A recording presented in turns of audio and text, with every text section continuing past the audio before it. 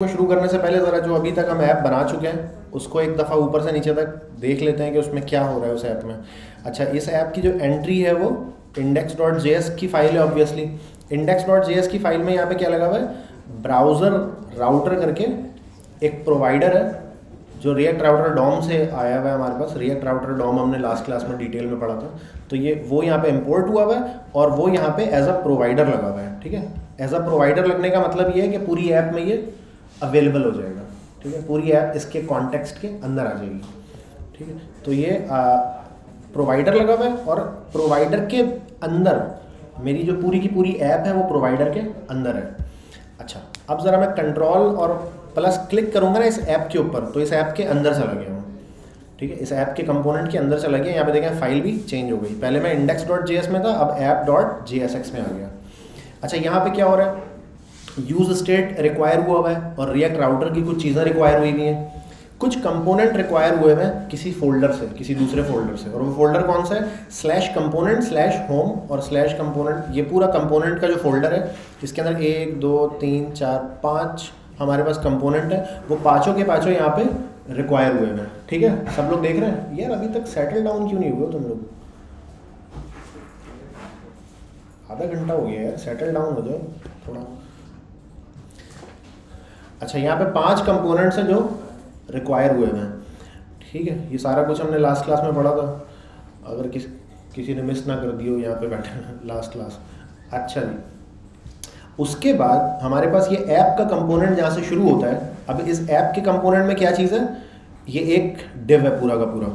ठीक है, अब इस डिव में क्या है? इस डिव में एक अदद बटन है यहाँ पे। ये बटन क्या करता है? इसके क्लिक पे ना एक स्टेट चेंज हो रहा है। इस लॉग इन ट्रू और फॉल्स हो रहा है। इस बटन के क्लिक पे, ठीक है? बटन पे क्लिक करता हूँ तो वो ट्रू हो जाता है, बटन पे क्लिक करता हूँ फॉल्स हो जाता है। तो हम इसको मिमिक कर रहे हैं कि अभी बंदा लॉग इन है या लॉग आउट हम मिमिक कर रहे हैं इसको।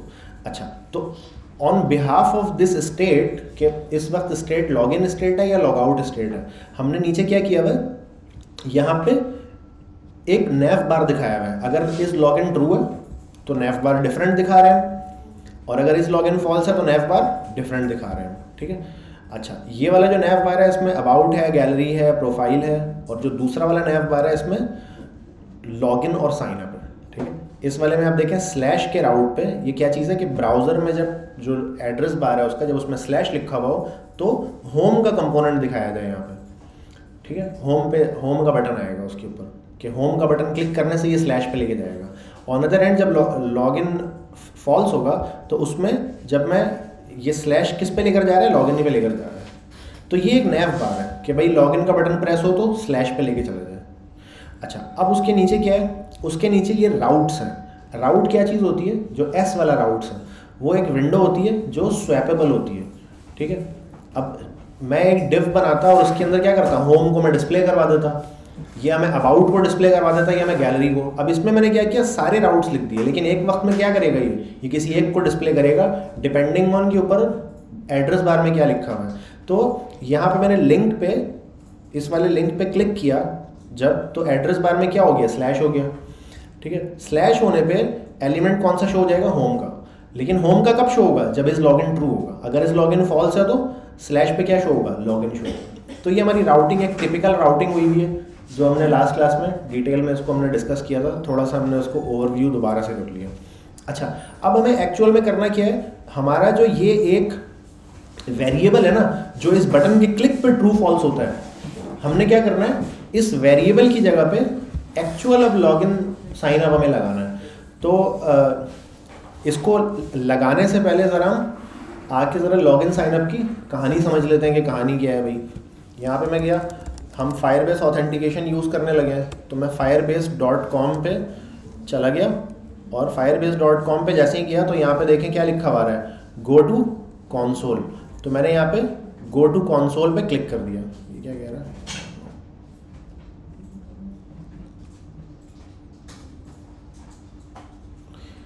गो टू कॉन्सोल पे जैसे ही मैंने क्लिक किया तो यहाँ पे मेरे पास बहुत सारी ऐप्स पहले से बनी हुई आ रही हैं। ठीक है? इनमें से किसी भी ऐप के अंदर चला जाता हूँ हमने कौन सी बनाई थी लास्ट क्लास में?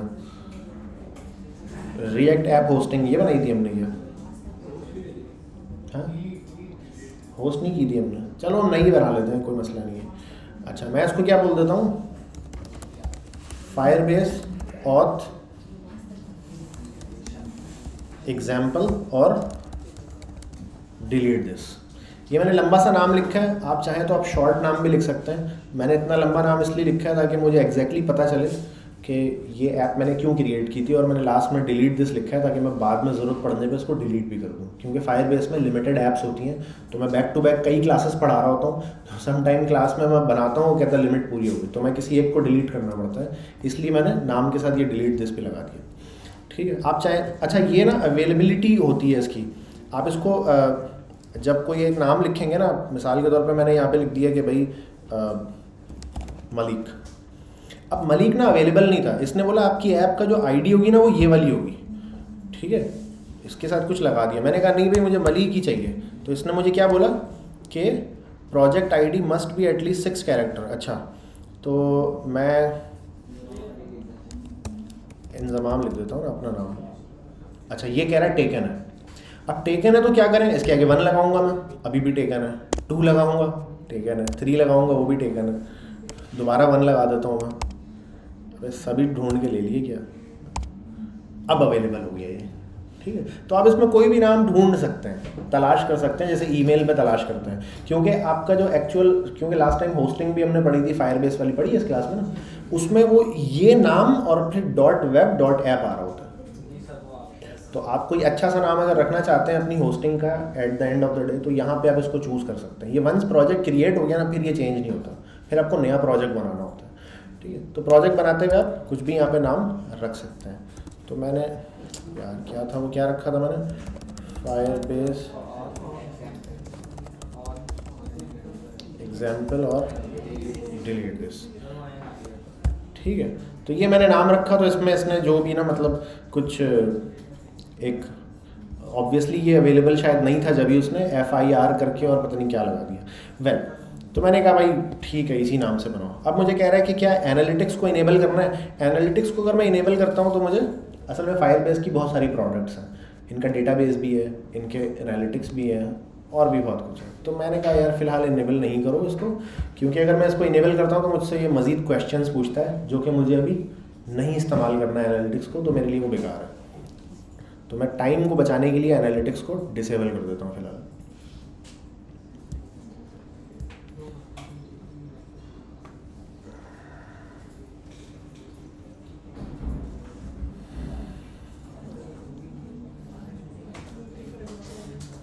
अच्छा जी। अब फायर बेस की ऐप बन के तैयार हो चुकी है। मेरे पास कुछ इस तरह का साइड पे एक मेन्यू दिख रहा है। यहाँ मैंने किस पे क्लिक करना है? यहाँ पे मैंने बिल्ड पे क्लिक करना है। देखें जैसे ही मैंने बिल्ड पे क्लिक किया तो ये सारा यहाँ पे मेरे पास जो इनकी प्रोडक्ट्स थी, उसकी एक लिस्ट आ गई। अच्छा मुझे इसमें से कौन सी प्रोडक्ट पे जाना है? ऑथेंटिकेशन पे जाना है। ऑथेंटिकेशन पे क्लिक किया तो कुछ इस तरह का मेरे पास यूज़र इंटरफेस नज़र आ गया। कह रहा है authenticate and manage user from a variety of providers without server side coding ठीक है? गेट स्टार्टेड गेट स्टार्टेड का जैसे ही मैंने बटन दबाया तो इसने मुझसे कहा कि यार, आप कौन सा वाला इस्तेमाल करना चाहते हैं? लॉगिन गूगल का लॉगिन फेसबुक का लॉगिन गेम सेंटर का लॉगिन ट्विटर का लॉगिन एप्पल का लॉगिन कोई सा भी यूज़ करना चाहते हैं, उस पर आप क्लिक करें, वो चल जाएगा. अच्छा लेकिन ये गूगल का जो लॉगिन है ना, ये ऐसे सिंपल ही नहीं चलेगा. ठीक है? ये कैसे चलेगा, मैं आपको बताता हूँ. आराम से आराम से। आराम से यही तो मैं कह रहा हूँ। अभी हम किसी एक से शुरू करेंगे ना? किससे शुरू करें? चलो तुम बताओ। मैं कह रहा हूँ, ईमेल पासवर्ड से शुरू करेंगे। सही है? ईमेल पासवर्ड सबसे इजी है। अभी गिटहब मैं शुरू करूँगा ना, तुम्हारा सर ऐसे घूमेगा और तुम बेहोश होकर गिर जाओगे। वो इतना लंबा प्रोसेस है। टोकन लेना होता है, जाके अपना डेवलपर पे रजिस्टर करनी होती है। ठीक है? तो जब मैं ये लेक्चर ख़त्म कर लूँ ना, उसके बाद क्वेश्चंस का भी टाइम दूँगा मैं और ये तुम खुद करोगे गिटहब वाला। ठीक है? ये तुम खुद करोगे। गूगल वाला मैं बता दूँगा। कोई एक मैं बता दूँगा फेसबुक बता दूँगा सही है? नहीं फेसबुक का जो प्रोसेस है वो सेम है, बाकी सबसे सेम है। ठीक है? वेल कोई भी, अभी फ़िलहाल ईमेल पासवर्ड से तो शुरू करें हम। अच्छा लेकिन ये इस करने से पहले हमें क्या करना होता है? अपनी ऐप को कनेक्ट करना होता है। किससे कनेक्ट करना होता है? फायर से कनेक्ट करना होता है। तो हमने लास्ट टाइम जब डेटाबेस का करंट ऑपरेशन किया था तो आपने देखा था हमने कनेक्ट किया था फायरबेस को अपनी ऐप के साथ। कैसे कनेक्ट किया था? ज़रा वापस जाके देखते हैं। ये रहा। Firebase Firestore hello world यही था ना? इसके मैं सोर्स में गया और इसके मैं इंडेक्स डॉट जी में था। कहाँ पे? डॉट जी हाँ। ऐप डॉट जी में जाके मैंने ये सारा का सारा कोड यहाँ पे लिखा था। ठीक है, जिससे क्या हुआ था? ये मेरे पास कनेक्ट हो गया था। तो मुझे अभी ये वाला काम करने के लिए भी ना ऑथेंटिकेशन के लिए भी, मुझे क्या करना पड़ेगा? अपने पास इसको कनेक्ट करना पड़ेगा। तो पहले हम क्या करेंगे? ऑथेंटिकेशन की हम डॉक्यूमेंटेशन में जाएँगे। ठीक है? ऐसे नहीं होगा कि क्लिक किया और हो गया। ऑथेंटिकेशन की डॉक्यूमेंटेशन में जाएँगे, उसमें हम स्टेप बाय स्टेप फॉलो करेंगे कि वो इंस्टॉल कैसे होगा। फिर कनेक्शन कैसे बनेगा उसका फायरबेस की ऐप से, फिर क्या चीज़ कैसे लगेगी और कैसे करके कहानी शुरू होगी? वेल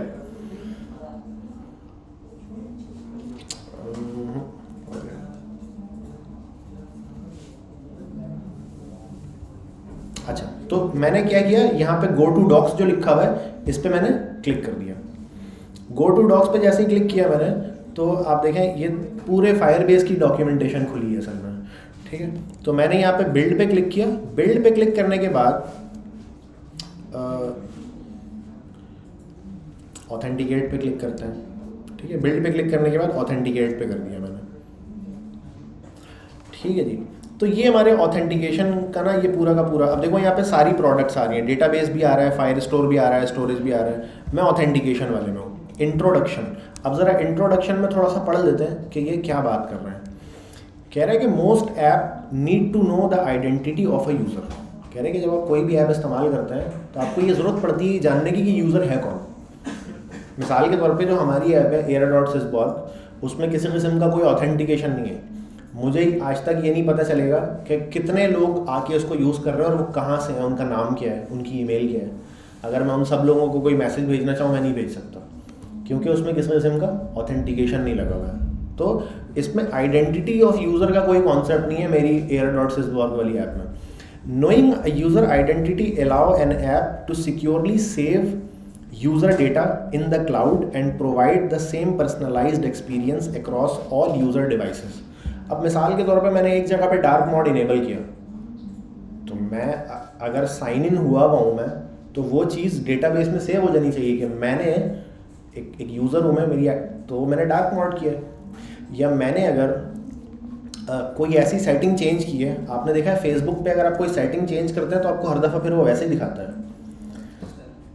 मिसाल के तौर पे यूट्यूब पे अगर हम यूट्यूब देख रहे हो अगर तो उसमें अगर वो जो सैनमा मॉड होता है क्या होता है? एक्सटेंडेड मॉड जो होता है। थिएटर मॉड अब आपने थिएटर मॉड अगर इनेबल कर दिया तो आप जब भी खोलोगे दूसरे टैब में भी खोलोगे तो वो थिएटर मॉड ही खोलेगा है ना? तो कुछ सेटिंग्स ऐसी होती हैं जो सेव कर देता है वो। फिर आपको हर दफ़ा वो उसी तरह दिखाता है। तो कह रहे हैं कि आपको ना थोड़ा सा बेनिफिट मिल जाता है। आप उसको, उसकी चीज़ों को आप सेव कर सकते हैं। अच्छा अब आगे चलते हैं भाई।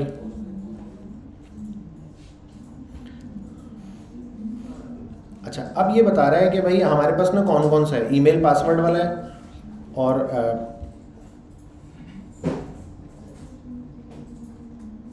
फ़ोन नंबर वाला ऑथेंटिकेशन है इनके पास और पता नहीं कौन कौन सा है। खैर, अब आप आगे चलते हैं। हेलो वर्ल्ड की तरफ़ चलते हैं।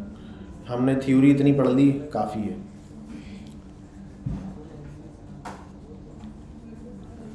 अच्छा हाउ डू आई स्टार्ट पे चलते हैं नेक्स्ट इंस्टॉलेशन कहाँ बताएगा?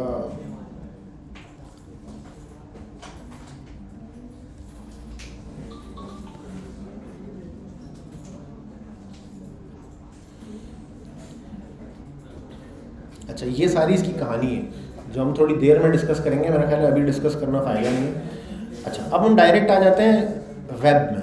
अच्छा वेब और ये आईओएस और ये एंड्रॉयड और ये फ्लटर ये क्या चीज़ है? ये ये चीज़ है कि फायर बेस असल में सिर्फ़ जावा स्क्रिप्ट की ऐप में नहीं लगा सकते, आप हर ऐप में लगा सकते हैं, ठीक है? जो सी प्लस प्लस में लिखी हुई ऐप्स है, उसमें भी फायर बेस इन्होंने अलाउ किया हुआ है कि आप उसमें भी लगा सकते हैं। तो अब आप मिसाल के तौर पे अगर फ्लटर की ऐप आप यूज़ कर रहे हैं तो आप ये वाला डॉक्यूमेंट पढ़ेंगे गेट स्टार्टेड कि फिर ये बताएगा फ्लटर में कैसे इंस्टॉल होता है और उसमें कैसे चलता है। लेकिन हम इस वक्त वेब एप्लीकेशन पे काम कर रहे हैं तो हम वेब वाले डॉक्यूमेंट में जाएँगे। सही है? तो हमें ये बताएगा कि वेब में कैसे स्टार्ट होता है और कैसे क्या होता है। ठीक है? अच्छा वेब में जाके गेट स्टार्ट वाले पे चला गया मैं गेट स्टार्ट वाले पे जैसे ही चला गया तो इसने मुझे बताया कि भाई दो हमारे पास वर्जन है, जैसा कि आपने पहले भी देखा था। तो हमें कौन सा? नाइन वाला करना है। हमें एट वाला नहीं करना। ठीक है? अच्छा अब ये इंस्टॉलेशन का यहाँ पे भी इसने ज़िक्र नहीं किया। वैसे तो आप सब लोगों को पता है कि फायरबेस इंस्टॉल कैसे होती है, लेकिन इसने बोला कि if you haven't already install तो आप इस लिंक पे जाके इंस्टॉल कर लो। तो मैं इस वाले लिंक को ना ज़रा नए टैब में खोलता हूँ और इंस्टॉलेशन पहले कर लेता हूँ, फिर यहाँ पर आ जाऊँगा मैं वापस। अच्छा कैसे बता रहे हैं? Create Firebase project and register your app ठीक है? क्रिएट फायरबेस प्रोजेक्ट तो हम कर चुके हैं। ठीक है? क्रिएट फायरबेस प्रोजेक्ट के लिए क्या कह रहे हैं? कॉन्सोल पे जाओ ऐड अ न्यू प्रोजेक्ट पे करो, और क्या करो?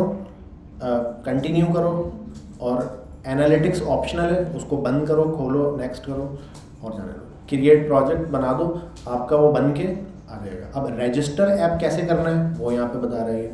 रजिस्टर ऐप में क्या कह रहा है? After you have a Firebase project you can register your web app with that center of Firebase console overview page click on this icon ठीक है? वापस जाते हैं, हमारा कॉन्सोल यहाँ खुला हुआ है ना?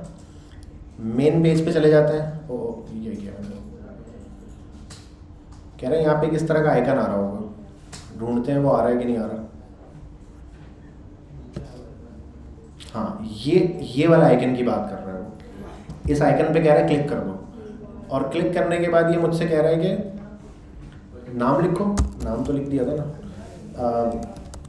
फायर बेस ऑथ एग्ज़ाम्पल सही है, ये मैंने नाम लिख दिया। नहीं, वो तो ये निक नेम कह रहा है। कह रहे निक नेम लिख दो अपनी ऐप का। उसमें तो अवेलेबिलिटी का इशू था, इसमें शायद अवेलेबिलिटी वाला वो इशू नहीं है। वेल रजिस्टर ऐप का बटन दबा दिया मैंने। सही है रजिस्टर ऐप का बटन दबा दिया। तो ये मेरी क्या हो गई? ऐप रजिस्टर हो गई। अच्छा अब ये कह रहा है कि भाई आप कैसे करोगे? आप ऐसे एन से इंस्टॉल करोगे फायर को। तो मैंने अपने प्रोजेक्ट में अभी तक एन इंस्टॉल नहीं चलाया था। आ जाते हैं, चला लेते हैं। मैंने ओपन किया, ये मेरी ऐप रन हो रही है ऑलरेडी तो मैं क्या करूँगा, एक नया टर्मिनल यहाँ से दबा के खोल लूँगा। ठीक है? ये टर्मिनल कौन से मैं? रिएक्ट राउटर और जो रेकमेंडेड वाला जो फोल्डर था मेरा। ठीक है? मैं इस फोल्डर में मौजूद हूँ राइट इसी प्रोजेक्ट हमने यही वाला प्रोजेक्ट बनाया था ना लास्ट टाइम ठीक है? इसमें आके मैंने बोला N P M install Firebase तो ये फायर बेस क्या हो गया? इंस्टॉल होना शुरू हो गया। ठीक है? इंस्टॉल करने के बाद कह रहा है कि भाई ये ये वाला कोड ना पूरा, ये इससे आप इनिशियलाइज कर लो अपनी ऐप को। ठीक है? तो मैं कहाँ पे जाके इनिशियलाइज करूँगा? May be index dot J में कर लूँगा ठीक है? इंडेक्स डॉट जे में क्या कर दिया मैंने जाके इसको? तमाम के तमाम कोड को मैंने अलग से भी बना सकते हैं। ऐप डॉट जे में भी कर सकते हैं इंडेक्स डॉट जे में भी। फ़िलहाल मैं इंडेक्स डॉट जे में कर रहा हूँ, ठीक है? अलग से बनाना चाहो तो अलग से भी बना सकते हो। ठीक हो गया। अच्छा क्योंकि मैं फायर बेस पर लॉगिन था जब मैंने ये कोड कॉपी किया तो इस वजह से यहाँ पे मुझे वो सारे जो की वगैरह ना, ये सब मुझे मिल रहा है। वरना आमतौर पे इस तरह होता है कि भाई आप कॉपी करते हो, बोलता है replace your with your original key ऐसे होता है ना? लेकिन इसमें पहले से लिखी भी आ रही है। तो ये की बिल्कुल सही है। ठीक है? इसमें मुझे कोई चीज़ चेंज करने की ज़रूरत नहीं है इन कीज़ वगैरह में। ठीक है? अच्छा ये हो गया भाई। अब ये नीचे क्या ऑप्शन आ रहा है? कंटिन्यू टू कॉन्सोल तो मैंने रजिस्टर ऐप वाला पार्ट भी क्या कर लिया? कंप्लीट कर लिया। यहाँ पे नीचे मेरी इंस्टॉलेशन भी कंप्लीट हो गई है। इंस्टॉलेशन कंप्लीट हुई तो मैं इसको क्या कर देता हूँ? इस एक्स्ट्रा टर्मिनल जो मैंने खोला था उसको मैं बंद कर देता हूँ। अच्छा तो मैं अब मैं डॉक्यूमेंट्स में कहाँ तक पहुँच गया हूँ? ये वाला इंस्टॉल ऐप क्रिएट ऐप और ये ये दोनों काम कर चुका हूँ मैं। अच्छा install S D K initialize fire app ये भी उसने मुझे वहीं पे दे दिया तो, तो मैंने कॉपी कर लिया ये उठा के। यही तो है जो मैंने कॉपी किया ना इनिशियलाइज फायरबेस ऐप ये जो मैंने इनिशियलाइजेशन की है ना नहीं वो असल में लाइब्रेरी को बोल रहा है एस डी के मतलब हाँ। नहीं लाइब्रेरी को एस डी के बोल रहा है वो। एस डी के का मतलब होता है सॉफ्टवेयर डेवलपमेंट किट तो वो कह रहा है कि ये लाइब्रेरी नहीं है ये हाँ। जैसे ये होता है ना ट्रक है। वो कहता नहीं डबल डोर बस वही वाला है। है ट्रक ही डबल डोर भी ट्रक ही होता है। लेकिन वो डबल डोर है वो डाला है। तो किसान यूज़ करेगा तो ट्रक है, साहब यूज़ करेंगे तो डबल डोर है। तो वो एस डी के असल में लाइब्रेरी को ही कहते हैं, लेकिन एस डी के और लाइब्रेरी का डिफरेंस असल में ये होता है कि एस डी के जो है ना कंप्लीट सॉफ्टवेयर डेवलपमेंट किट होता है। कि किसी भी सॉफ्टवेयर को बनाने के लिए एक मुकम्मल टूल सेट जो होता है ना, उसको हम एस डी के कहते हैं। ठीक है? ऑन अदर एंड लाइब्रेरी क्या होती है? लाइब्रेरी खुद एक ऐप होती है। ठीक है? एस के उस तरह की लाइब्रेरी होती है जिसको इस्तेमाल करते हुए कोई दूसरी ऐप बनाई जाएगी। और एक होती है जस्ट लाइब्रेरी आप लाइब्रेरी खुद एक ऐप होती है। जैसे मैथ डॉट जी हमने पढ़ा था कि भाई एक फ़ंक्शन है, दो नंबरों को प्लस करके प्रिंट करवा देगा। वो खुद यूटिलाइज हो रही थी। उसको इस्तेमाल करते हुए कोई दूसरी ऐप नहीं बन रही थी। तो एस असल में उसको कहते हैं। तो ये वो लाइब्रेरी हमने इनिशियलाइज कर ली। इनके ज़ुबान में एस डी के इनिशियलाइज कर लिया। ये स्टेप टू में यही बता रहा है। एन इंस्टॉल फायर बेस ये सब कर लिया हमने भाई। Access in Firebase access Firebase in your app अब कह रहा है कि भाई आपको ना जो सा भी करना है ना फायर स्टोर करना है या गेट आप उसको आप करोगे और उससे आपकी कहानी आगे चलेगी। ठीक है? बस अभी यहाँ तक हमारा काम जो है, ये वाला पूरा हो गया। अब मैं मैं कहाँ से गया था? यहाँ से ना कि if you haven't already install तो यहाँ से आप दूसरे लिंक पे चले जाओ तो वो मैंने इधर खोला था। इसको मैं वापस बंद कर हूँ ठीक है? आई हैव इंस्टॉल्ड नाउ अच्छा अब यहाँ पे से कहानी शुरू है। कह रहे हैं कि भाई इनिशियलाइज ऐप तो आपने पहले से लिखा होता है ये बोल्ड करके जो लिखा हुआ है ना, इसका मतलब है ये आपको अब लिखना है। ये जो बोल्ड करके लिखा हुआ है। तो ये मैंने क्या किया? गेट ऑथ कर लिया। आ जाते हैं अपने कोड में। और मैं इनिशियलाइज इनिशियलाइज ऐप के बाद जो है, क्या कर देता हूँ? ये गेट ऑथ को भी मैं यहाँ पे पेस्ट कर देता हूँ। अच्छा और क्या करना है? कह रहा है कि ऑथ को इनिशियलाइज कर लो। एक तो फायर बेस इनिशियलाइज हुई थी इधर, अब ऑथ को इनिशियलाइज करना है मैंने। तो मैं इनिशियलाइज के बाद आके ना ऑथ को मैंने यहाँ पे इनिशियलाइज कर लिया। सेट हो गया? आसान था यहाँ तक? अब मुश्किल होगा। नहीं, अभी भी आसान ही है यार, ये है ही आसान। फायरबेस ऑथेंटिकेशन बनाया इसीलिए इन्होंने, कि है ही आसान ही अच्छा अब ये कह रहा है कि जब नया यूज़र आप क्रिएट करोगे तो वो आपने कैसे करना है? वो आपने ऐसे करना है, ये। ठीक है? अब ये नया यूज़र हमने कहाँ से क्रिएट करना है? साइन अप के पेज पे खड़े हो गए। ऐसे ही है ना? साइन अप के पेज पे खड़े हो गए। तो हम जल्दी से पहले तो चलते हैं साइन अप के पेज पे ज़रा डब्बे बना लेते हैं फॉर्म्स ठीक है? तो ये मेरा साइन अप का पेज है ना? अरे, ये कंट्रोल क्लिक से अंदर आ। कंट्रोल क्लिक से मैं साइन अप के, उसमें चला गया अंदर।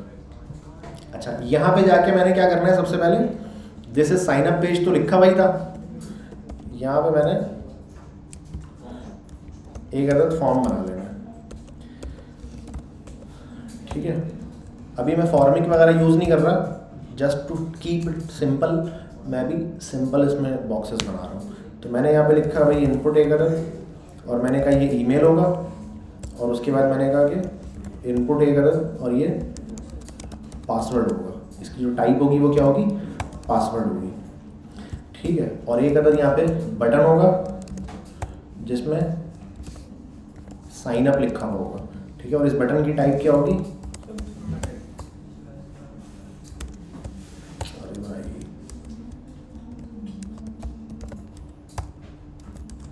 ठीक है? इस बटन की टाइप मैंने बता दिया कि भाई सबमिट होगी। अच्छा अब यहाँ पे जो है, ऊपर मैंने बोला ऑन सबमिट जो मेरा होगा वो क्या होगा? साइन अप हैंडलर कोई भी नाम रख सकते हैं इस फ़ंक्शन का। मैंने साइन अप हैंडलर इसका नाम रखा है। अब मैं यहाँ पे आके बोल देता हूँ कि कॉन्स्ट सही है sign up handler equals to a function ठीक है? मुश्किल तो नहीं है, ये पहले कई दफ़ा कर चुके हैं ये काम। साइन अप हैंडलर कर दिया मैंने इसको। अब साइन अप हैंडलर के ऊपर मुझे क्या करना है? इस इनपुट से, इन दोनों इनपुट से वैल्यूज़ उठानी है। तो वैल्यूज़ उठाने के लिए मुझे क्या करना पड़ेगा? एक स्टेट चाहिए होगी। मैंने कहा const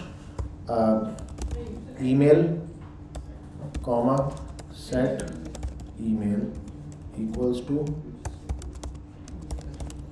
use state ठीक है? अच्छा ये ऑटो इम्पोर्ट भी इसने कर दिया। सजेशन में जैसे आया ना, मैंने क्लिक किया ऑटो इम्पोर्ट हो गया। अच्छी बात है, हो गया तो। नहीं होता तो हमें हाथ से करना पड़ता। ठीक है? पासवर्ड को भी मैंने क्या कर लिया यहाँ पे? स्टेट बना लिया। ठीक है। Email set email password set password ये मेरे पास दो अदद स्टेट बन गई है। ठीक है जी। अब इन दोनों स्टेट को मैंने क्या करना है? इन दोनों के साथ कनेक्ट करवाना है। अब ये अगर फॉर्मिक होता तो मुझे ये दो दफ़ा ये लिखना नहीं पड़ता, वो एक ही दफ़ा में ऊपर काम हो जाता है। ठीक है? लेकिन फॉर्मिक को अभी हम छोड़ देते हैं।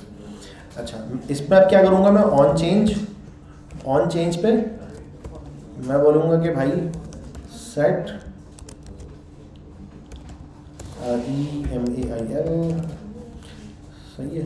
यहाँ पे मुझे एक अदद इवेंट मिलेगा और मैंने बोला कि भाई event dot target dot value सही है। और यही वाला ऑन चेंज मैं इसके नीचे वाले पे भी लगा देता हूँ। और यहाँ पे मैं क्या कर देता हूँ?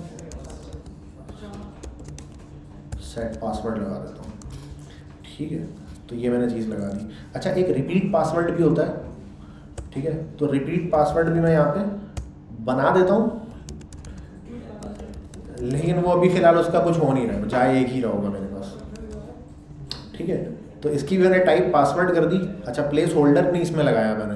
प्लेस होल्डर लगा देते हैं दोनों में। मैंने कहा भाई प्लेस होल्डर ईमेल ठीक है? प्लेस होल्डर पासवर्ड ठीक है ना? ताकि बंदे को पता तो चले कि करना क्या है, लिखना क्या है। तो अभी तक कुछ साइन अप का फॉर्म ठीक है वो। चल क्यों नहीं रहा? रोक दिया क्या मैंने उसको? Fail to parse source map of this this this पता नहीं कोई एरर आया हुआ है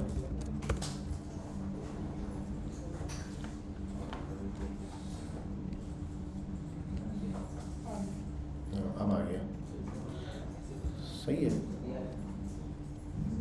आर लगा देते हैं। काफ़ी वाहियात सा दिख रहा है कुछ।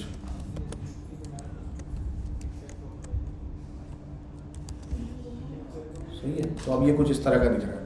कि जब शुरू में भाई जब ये शुरू में जब आए तो यहाँ पे कुछ ईमेल वीमेल कुछ तो लिखा हो ठीक है, और लास्ट वाले में मैं क्या लगा देता हूँ? प्लेस होल्डर हाँ confirm password is a better word confirm password ठीक है भाई तो कुछ इस तरह का लिखा हुआ रहा। अगर साथ में हम लेबल्स भी लगा दें तो फिर क्या ही बात है? ठीक है लेबल्स भी लगा देते हैं।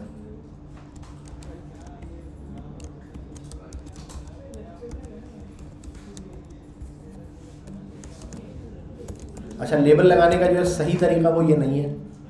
ठीक है? सही तरीका आपको पता है लेबल का एक टैग होता है उसके साथ आईडी और फॉर करके लगता है। वो सिमेंटिक टैग्स हैं एक्चुअली ठीक है?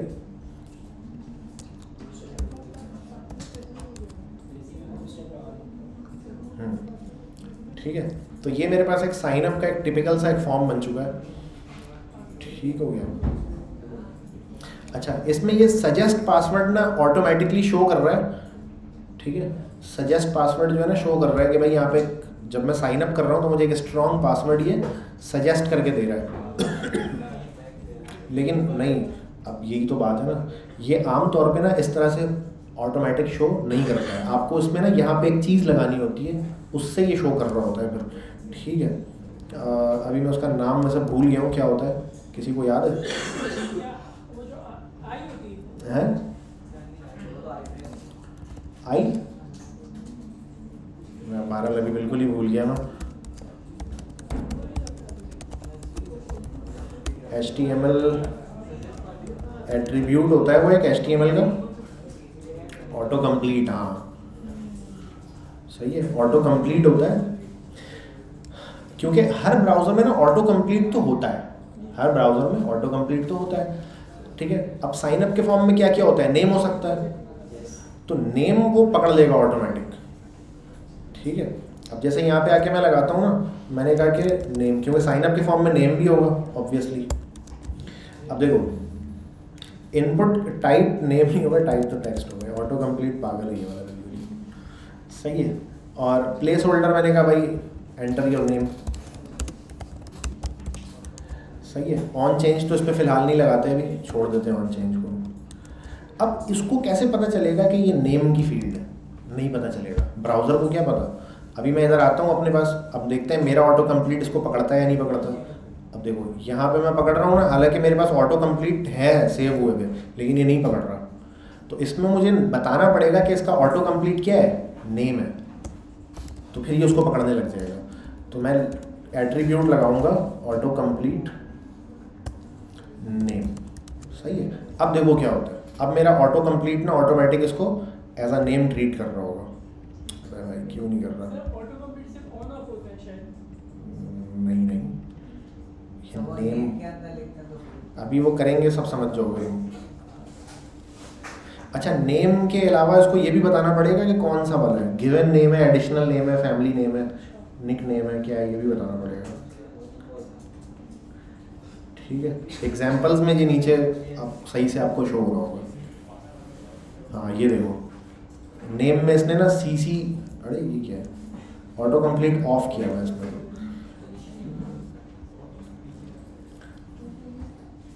बारह। तो इसमें बर्थडे है क्रेडिट कार्ड नंबर है, पता नहीं क्या किया है, एक हज़ार तरह की चीज़ है इसके अंदर। हाँ हमारे जो काम की जो चीज़ है ना, वो क्या है? वो ये है न्यू पासवर्ड ठीक है? करंट पासवर्ड ये देख रहे हो? अब जहाँ पे मैं न्यू पासवर्ड लिखूँगा, वहाँ पे क्या शो करेगा ये? सजेस्ट अ न्यू पासवर्ड ये वो शो करेगा।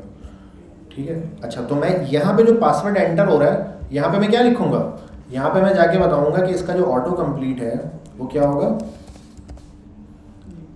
अभी ऑटो कंप्लीट की स्पेलिंग यही होती है ना। इसकी एग्ज़ाम्पल में एक दफ़ा देखते हैं। नहीं ना सी छोटा है। जब भी तो ये काम नहीं कर रहा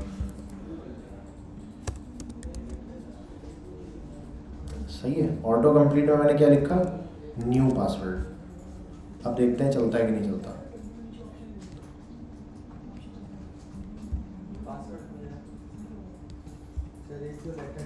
सजेस्ट तो वो पहले से भी दे रहा था भाई द सजेस्ट है स्ट्रॉन्ग पासवर्ड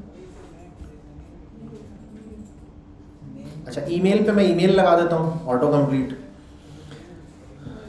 सही है। देखो ऑटो कंप्लीट में ईमेल अच्छा ईमेल एक अलग है और एक यूज़र नेम अलग है। ठीक है, दो चीज़ें हैं इसके अंदर। अब ईमेल के अंदर ना ईमेल कोई सी भी मतलब जैसे फॉर्म वॉर्म फिल करते हैं ना तो ईमेल लिख रहे होते हैं। यूज़र नेम जो है वो क्या है? जो पासवर्ड के साथ डलता है, वो यूज़र नेम होता है। तो इन दोनों में थोड़ा सा फ़र्क भी होता है। ठीक है तो मैं क्या लिखूँगा? मैं यूज़र नेम लिखूँगा। जैसे गिटअप डॉट कॉम पर जब आप साइन अप कर रहे होते हैं तो आप वो बोलता है ईमेल या यूज़र नेम दोनों चल जाएगा। ठीक है? तो वहाँ पे ये यूज़र नेम होगा, वहाँ पे ईमेल नहीं होगा। ठीक है? तो मैंने क्या किया? इस यूज़र नेम को मैंने कॉपी किया। अभी देखते हैं ये ईमेल में मुझे कोई सजेशन नहीं दे रहा अभी जब मैं यहाँ पे उसको मैं क्लियर भी कर देता हूँ केशे इसका। अब ईमेल में मुझे ये कुछ सजेशन वगैरह नहीं दे रहा। देखते हैं वो लगाने के बाद देता है कि नहीं देता। तो मैं ईमेल पे आया यहाँ पे, और ईमेल पे आने के बाद मैंने कहा कि ऑटो कंप्लीट यार इसमें शायद रिएक्ट में ये कैपिटल ही होता है। ये स्मॉल वाला नहीं है है कैपिटल ही है क्योंकि रिएक्ट में जितने भी एट्रीब्यूट्स होते हैं, वो जैसे क्लास नेम है तो वो वैसे करके होता है। ठीक है?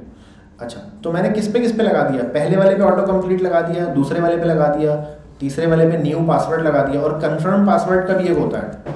कन्फर्म पासवर्ड का भी एक होता है इसमें। अब मैं ज़रा इसको रिफ़्रेश करता हूँ। ऑटो फिल तो मेरा गायब ही हो गया। पासवर्ड पे वो सजेस्ट पासवर्ड अभी भी दे रहा है।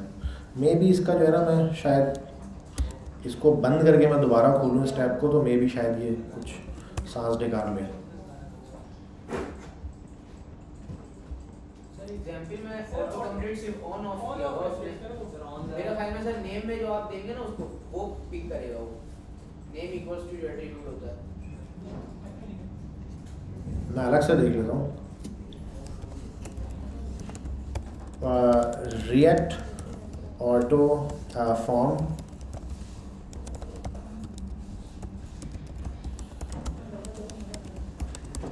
autocomplete example अलग से मैंने गूगल पे लिख दिया।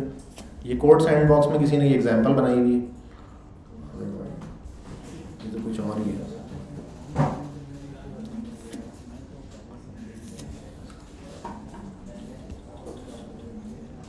स्टैक ओवरफ्लो लगा लेते हैं ना। ऑटो कंप्लीट में किसी को अगर प्रॉब्लम आई होगी तो ज़ाहिर है उसने सवाल पूछा होगा। लेकिन उसके सवाल में हमारा जवाब छुपा हुआ होगा। नहीं मिला यहाँ पे। दूसरे पे चलते हैं।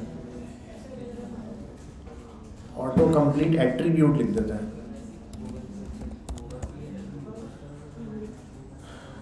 React doesn't render autocomplete off अच्छा इसने भी ऑटो कंप्लीट ऑन ऑफ़ ही लगाया, बस। सही है, इसने क्या ऐसे लगेगा? एक बंदे ने किसी ने बोला, सही भी है। असल में ना लोग अच्छा। लोग ना ज़्यादातर मैंने देखा इंटरनेट पे इसको ऑफ़ करने के चक्कर में रहते हैं, पता नहीं क्यों। मुझे समझ नहीं आया कि इसको ऑफ़ क्यों करते हैं लोग। बिना वजह इसको ऑफ़ करने में लगे होते हैं और गूगल क्रोम इसको ऑफ़ करने नहीं देता इतनी आसानी से। गूगल क्रोम आखिरी हद तक ज़ोर लगाता है कि किसी तरह ये ऑन हो जाए। तो ये देख रहे हो उसने बोला ये कि रोल करके भी लगाओ प्रेजेंटेशन करके तो फिर जाके ये ऑफ़ हो जाएगा। किसी ने बोला कि ये भी बंद हो गया। मतलब माइनस कर दिया लोगों ने कि भाई तेरा जवाब गलत है। ऐसे नहीं हो रहा ऑफ़ ठीक है तो ऑफ़ करने की लोग बड़ी कोशिश कर रहे हैं, लेकिन मेरे हिसाब से इसको ऑफ़ करने का कोई सेंस नहीं बनता।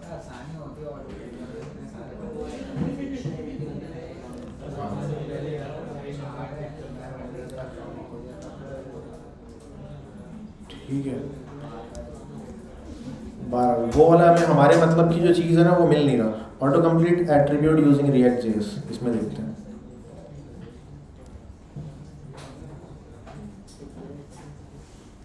अच्छा इसने अपने क्वेश्चन में एक दफ़ा ऑटो कंप्लीट ऑन लिखा है, एक दफ़ा ऑटो कंप्लीट सीसी नंबर लिखा है।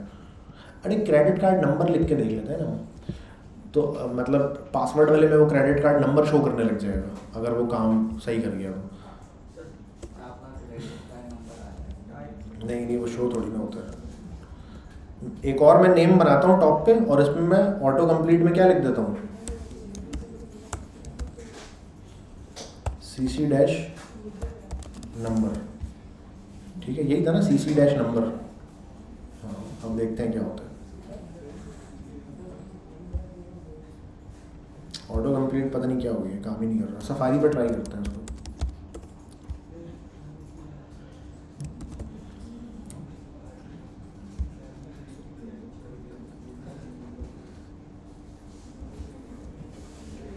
अच्छा यहाँ पे तुमने नोट किया। इस वाले पे ना, और इस वाले पे देखो, चीज़ थोड़ी डिफरेंट आ रही है। ये मुझे कॉन्टैक्ट सेलेक्ट करने का ऑप्शन दे रहा है। मेरे पास कोई कॉन्टैक्ट सेव नहीं है। अच्छा पासवर्ड पे मुझे ये पासवर्ड का ऑप्शन दे रहा है। आई एम नॉट श्योर कि ये ऑटो कंप्लीट लगाने की वजह से या वैसा ही है। देखो सजेस्ट स्ट्रॉन्ग पासवर्ड दोनों में आ गया।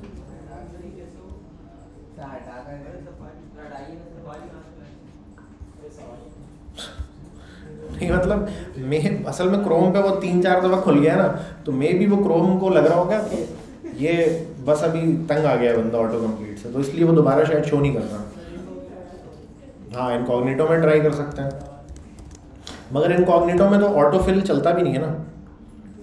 ऑटो फिल नहीं चलता। ऑटो फिल चलता इधर ही है।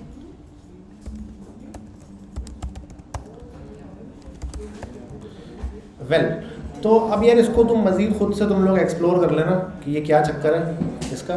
लेकिन ये जो सजेशन है ना जैसे आप एक बार मिसाल के तौर पे आप लॉगिन कर लेते हो एक बार तो अगली बार जब आप लॉगिन करने आते हो ना तो पहले से आपका पासवर्ड लिखा हुआ आ रहा होता है। तो उसको कैसे पता चलता है कि ऊपर वाला यूज़र नेम है और नीचे वाला पासवर्ड है? कैसे पता चलता है? अच्छा। नहीं अगर मैं इसका नेम का एट्रीब्यूट यहाँ पे लगा दूँ मैं नेम इक्वल्स टू नेम और इसमें नेम लगा दूँ ईमेल देखते हैं भाई, इससे शायद पता चल जाए तो अच्छा ऑटो कंप्लीट ऑन और ये वाला। हाँ यार। गुड यार हाँ यार, इसमें तो देने लग गया अभी ईमेल हाँ नहीं यार, अच्छी बात है। वेल डन यार गुड अच्छा अच्छा अच्छा अच्छा। यार ये सही तो कह रहा है। ये देखो ना, इसने क्या कहा ऑन करो और नेम की फ़ील्ड के अंदर ना ऑटो कंप्लीट का नाम लिख दो। ये देख रहे हो नेम थोड़ा सा इस तरफ़ है। ये इंडेंटेशन इसके साथ हुई भी है। अब ये जो सारी चीज़ें वो नेम में लिखी जाएँगी। गिवन नेम या फुल नेम या जो भी।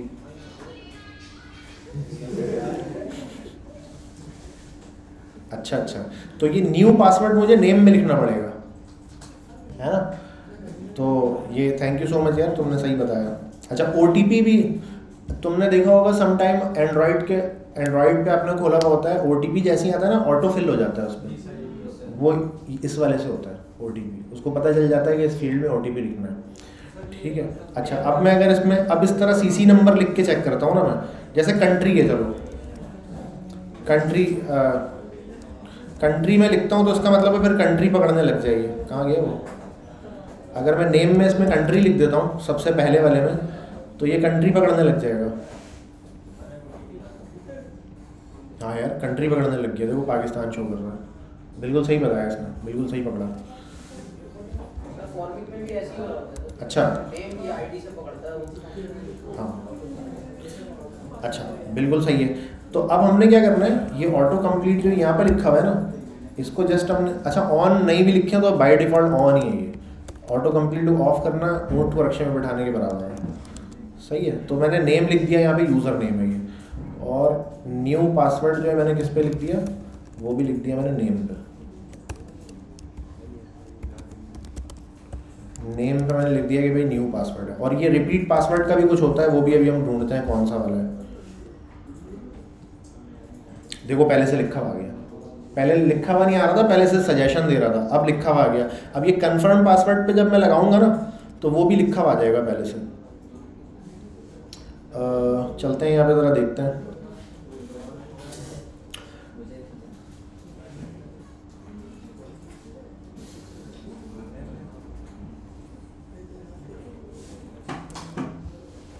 अच्छा।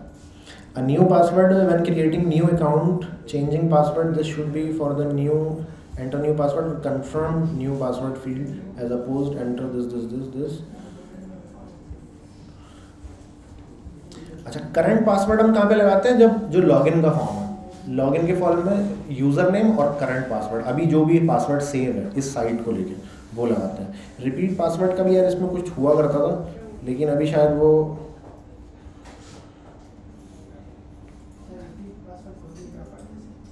अच्छा।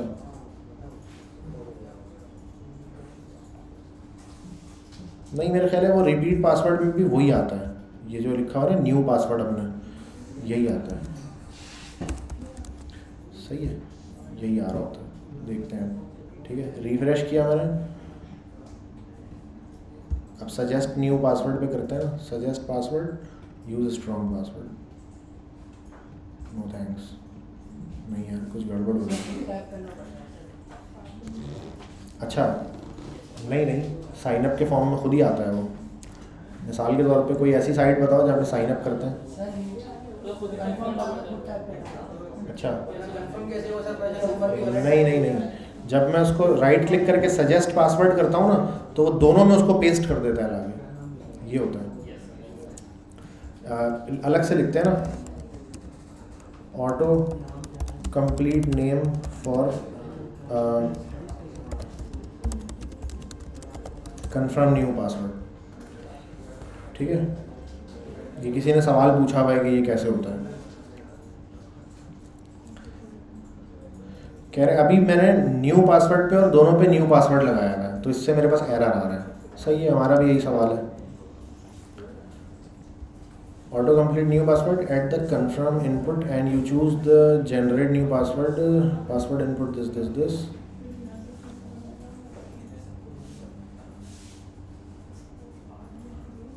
Type password auto complete new password. As opposed the firebase chrome the first uh, this this text visible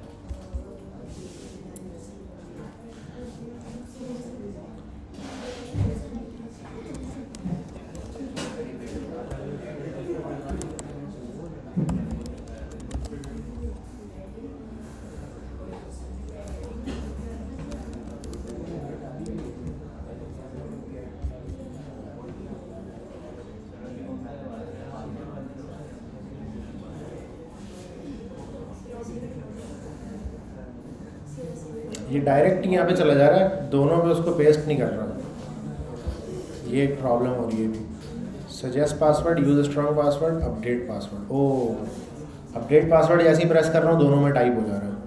सही है मतलब सही चल रहा है अभी ये।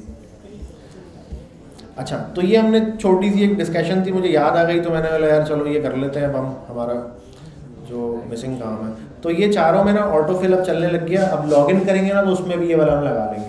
तो आप जैसे गिटहब डॉट कॉम पर जाते होगे ना लॉगिन करना है तो उसमें पहले से लिखा आ जाता है जो सेव हुआ पासवर्ड है वो इस तरह से आता है तो ये हमें पता चल गया। वेल अब साइनअप का जब मैं बटन प्रेस करूँगा कोड मेरा कहाँ गया? ये रहा। कोड असल में मैं रखता हूँ इस तरफ़ जब ये बार बार हो जा रहा है गुम तो आ, एक मैं स्टेट नेम के लिए भी बना लेता हूँ एक्चुअली नेम और सेट नेम राइट एक मैंने नेम के लिए भी बना लिया ऑन चेंज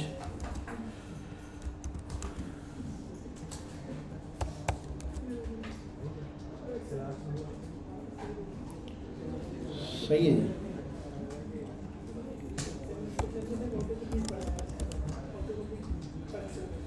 सही है सेट नेम सेट ईमेल और सेट पासवर्ड तो तीन चीज़ें मेरे पास आ गई, जिसके ज़रिए मैंने अपना यूज़र कहाँ पे करवाना है साइन अप करवाना है। अच्छा। साइन अप हैंडलर पे मुझे इवेंट मिलेगा। इस इवेंट पे मैं प्रीवेंट डिफ़ॉल्ट लगा दूँगा, जिससे मेरा क्या होगा? पेज रीलोड मेरा नहीं होगा, जो कि डिफ़ॉल्ट बिहेवियर है सबमिशन पे कि पेज रीलोड हो जाता है। ठीक है? अच्छा जब मेरा साइन अप कंप्लीट हो जाएगा ना तो मैं ई डॉट फिर रीसेट भी करता हूँ ना। R E S E T reset भी करता हूँ, जिससे क्या होता है मेरा फॉर्म जो है वो रीसेट हो है। ज़ाहिर है, मुझे रीसेट तो करवा रहे हैं ना, क्योंकि जब मैं प्रिवेंट करता हूँ तो फिर कुछ भी नहीं होता, सभी रुक जाता है। तो फॉर्म को मुझे रीसेट भी करवाना है किसी ना किसी पॉइंट में। तो अब मेरे पास क्या मौजूद है? नेम ईमेल और पासवर्ड ये तीन चीज़ें मौजूद हैं। अब मैं वापस जाता हूँ फायर बेस के उस डॉक्यूमेंट पे, जहाँ पे उसने मुझे क्या बोला था? कि भाई यूज़र क्रिएट करना हो तो ऐसे करोगे आप। ये तमाम का तमाम कोड में क्या कर लेता हूँ? कॉपी कर लेता हूँ यहाँ से। और ये कोड कॉपी करके मैं क्या करूँगा? यहाँ पे साइन अप के बटन के अंदर लाके मैं पेस्ट कर देता हूँ। ठीक है? और आप देखते हैं ये क्या है? इम्पोर्ट वाला जो चीज़ है, वो तो ज़ाहिर है टॉप पे जाती है। यहाँ से मैं इसको कट करूँगा। यहाँ पे मैं ऊपर कर दूँगा, जी।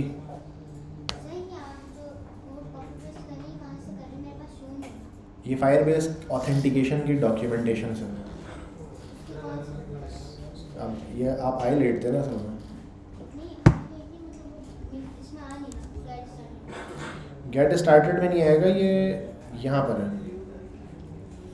गाइड में जाओगे गाइड में जाके ऑथेंटिकेशन ऑथेंटिकेशन के अंदर वेब और वेब के अंदर गेट स्टार्टेड बच्चा, अभी आप सिर्फ़ देखो, अभी आप करो नहीं। मैं आप टाइम दूँगा आपको ये इम्प्लीमेंट करने के लिए, ठीक है? अभी देखो सिर्फ़।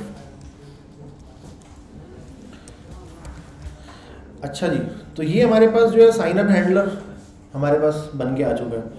इस साइन अप हैंडलर के अंदर क्या काम हो रहा है? Const auth equal to get auth get auth करके ऑथेंटिकेशन का ये मैंने क्या ले लिया यहाँ पे? हैंडलर उठा लिया। क्योंकि मैंने अपने पास जो मेरा इंडेक्स डॉट जी है, वहाँ पे मैंने इसको ऐप को इनिशियलाइज तो कर दिया ठीक है? गेट ऑथ यहाँ पे तो मुझे मिल गया ठीक है? लेकिन जहाँ जहाँ पे मुझे अब इसको यूज़ करना होगा ना, वहाँ पे मैं गेट ऑथ करके इसको गेट करूँगा, जब ही मुझे ये मिलेगा। सही है? तो ये मैं गेट ऑथ बाहर भी कर सकता हूँ। इस यहाँ पे से बाहर भी कर सकता हूँ ना मैं, ठीक है, मैं इस जगह पे भी कर सकता हूँ ये। परफेक्टली फाइन ठीक है? और मैं इसके अंदर भी करूँ तो भी कोई मसला नहीं है। परफेक्टली फाइन उसके बाद create user with email password ये मैंने ऊपर ये भी इम्पोर्ट किया हुआ है यहाँ से, जिसको मैं कॉल कर रहा हूँ। Create user with email password में मुझे क्या चाहिए? तीन चीज़ें चाहिए। नंबर एक ऑथ का हैंडलर ठीक है? ऑथ का हैंडलर ये बताएगा कि मैं कौन से फायरबेस की ऐप से कनेक्शन बना के बैठा हूँ। वो बताएगा। Number two email number three password तो ये तीन चीज़ें ईमेल की जगह पे ये ये ईमेल आ गया और पासवर्ड की जगह पे ये पासवर्ड आ गया। ठीक है? अब नेम भी मुझे साथ साथ भेजना है। अभी वो देखते हैं कि नेम हम कैसे भेज रहे होते हैं। अच्छा जैसे ही मैं ये कॉल करूँगा तो डॉट देन अगर ये साइन अप सक्सेसफुली हो गया बंदा तो डॉट देन में मुझे क्या मिल जाएगा? उस यूज़र का पूरा ऑब्जेक्ट मिल जाएगा, जो अभी अभी क्रिएट हुआ है। और साथ साथ वो लॉगिन भी हो जाएगा बंदा। साइन अप होते ही वो लॉगिन भी खुद ही हो जाएगा ऑटोमेटिकली अगर उसमें कोई एरर आ गया तो ये कैच चलेगा जिसके अंदर। अभी कुछ भी नहीं हो रहा, लेकिन मैं काम करता हूँ स्क्रीन के ऊपर इस एरर को प्रिंट करवा लेता हूँ। ठीक है?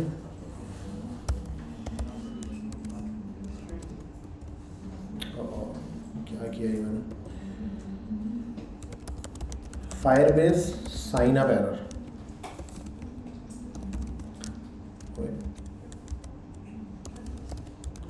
ठीक है, अगर ये कैच चलता है तो मैंने स्क्रीन पे ये बात प्रिंट करवा ली कि फायरबेस का जो साइन अप एरर हुआ है कुछ। और अगर साइन इन प्रॉपरली हो जाता है तो मैं बोलता हूँ इस यूज़र को क्या करो? स्क्रीन पे प्रिंट करवा दो। Console dot log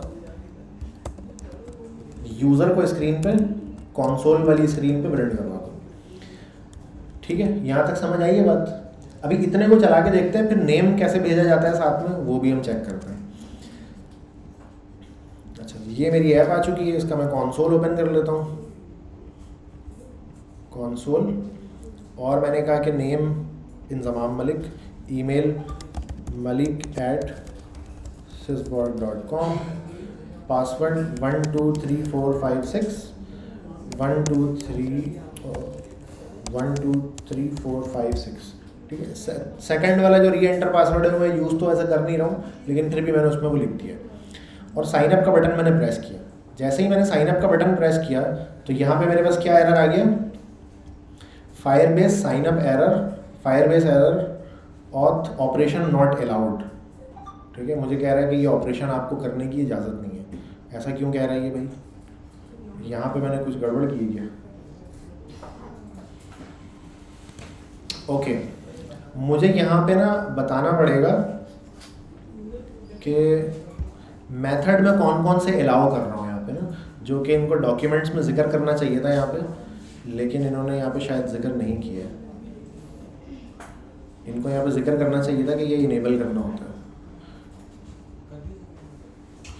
Create a form that allows this this this email when a user this this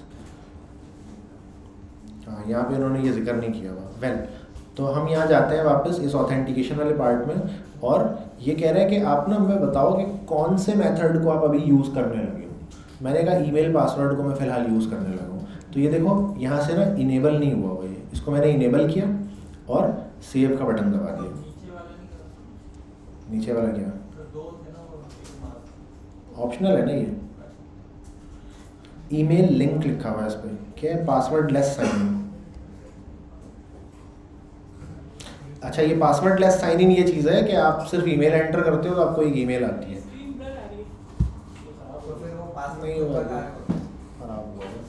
अरे भाई अभी सिंपल वाला तो करें ना एक दफ़ा। वो सब ट्राई करते रहेंगे। अभी छोड़ो उसको। अभी ये सिंपल वाला ट्राई करते हैं ठीक है। तो अब मेरे पास ना साइन इन मेथड है कि आ गया ईमेल पासवर्ड वाला। असल में देखो फायर बेस की ऑथेंटिकेशन में तो इतना कुछ है कि अभी हम दो तीन दिन तक एक्सप्लोर करते रहेंगे तो भी ख़त्म नहीं होगा। तो किसी पॉइंट से हमें स्टार्ट करना है ना, पहले स्टार्ट कर लें, एक चीज़ करके देख लें, वो तुमसे मैं करवा लूँ फिर। ठीक है? सबसे बड़ा काम तो ये आप लोगों से करवाना। मैं तो कर दूँगा यहाँ पे बैठा बैठा मैं तो लगा रहूँगा, मेरा तो काम ही है ये कोडिंग करते रहना। और कोई काम है मेरा? और तो कोई काम नहीं है। सही है, अभी यहाँ से घर जाऊँगा तो भी बैठ के कोडिंग करूँगा। फिर हाँ सुबह उठूँगा फिर, अगर उठ गया तो फिर कोडिंग करूँगा। तो सुबह शाम कोडिंग ही कर रहा हूँ। तो मैं तो करता रहूँगा मेरे लिए, लेकिन वो आप लोगों से करवाना भी तो है। अभी ये जो जितने मुझसे कह रहे हैं ना कि, सर, वो नीचे वाले पे भी चेक लगा दें, सर, वो गिटअप वाला भी कर लें। अभी देखते हैं, ये करता हुआ कौन अभी अगली क्लास में पता चल जाएगा कि कौन कौन करके लाता है। वेल तो यार, अब यहाँ से ये डिसेबल हुआ हुआ था, इस वजह से वो वर्क नहीं कर रहा था तो मैं इसको अब दोबारा से ट्राई करता हूँ, दोबारा से साइन अप का बटन दबाता हूँ। तो अब की बार इसने क्या बोला कि यूज़र क्या हो चुका है आपका? साइन अप हो चुका है और काफ़ी सारी चीज़ें भी इसने साथ में मुझे दे दी हैं यहाँ। ठीक है? काफ़ी सारी चीज़ें भी मुझे दे दी हैं। एक्सेस टोकन दिया है डिस्प्ले नेम नल दिया है इसने ईमेल दिया है। ईमेल वेरीफाइड फॉल्स है अभी इज़ एनोनिमस फॉल्स है। मेटा डाटा में काफ़ी सारी चीज़ें हैं। Phone number X Y Z बहुत चीज़ें हैं इसके अंदर, ठीक है? फ़ोटो यूआरएल भी नहीं है। अब ये सारी चीज़ें हम एक्सप्लोर करते हैं थोड़ी थोड़ी करके एक्सप्लोर करते हैं, ठीक है? वापस हम आ जाते हैं इस डॉक्यूमेंट के अंदर। हमारा यूज़र क्रिएट हो गया। जो इसने गेटिंग स्टार्ट में बताया था ना क्रिएट अ न्यू यूज़र ऐसे करके होगा। ये हमारा यूज़र क्या हो गया? क्रिएट हो गया। अच्छा जब ये यूज़र क्रिएट हो गया ना तो यहाँ पे मुझे ये यूज़र नज़र आना चाहिए। ठीक है? ये देख रहे हैं यूज़र्स का टैब है यहाँ क्लिक करूँगा ना तो ये यूज़र मुझे देखो नज़र आ रहे हैं। आइडेंटिफायर ईमेल है ये। इस पर लोगो बना हुआ है कि कौन से वाले से हुआ है ईमेल पासवर्ड से हुआ है। इस यूज़र की यूनिक आईडी है साइन इन की डेट है, कब हुआ है साइन इन ये, आखिरी।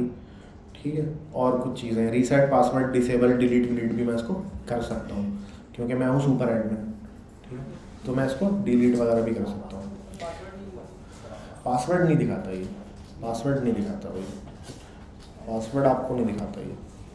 अच्छा अब अगला काम क्या है भाई? अगर पहले से कोई यूज़र मौजूद है, बना हुआ है तो उसको साइन इन कैसे करवाना है? तो अब हमें क्या करना पड़ेगा? यही सेम काम साइन इन के पेज पे एक फॉर्म बना के और ये साइन इन वाला काम हमें करवाना पड़ेगा। ठीक हो गया। तो मैं ये सारा का सारा कोड क्या करता हूँ? यहाँ पे से कॉपी कर लेता हूँ। ठीक है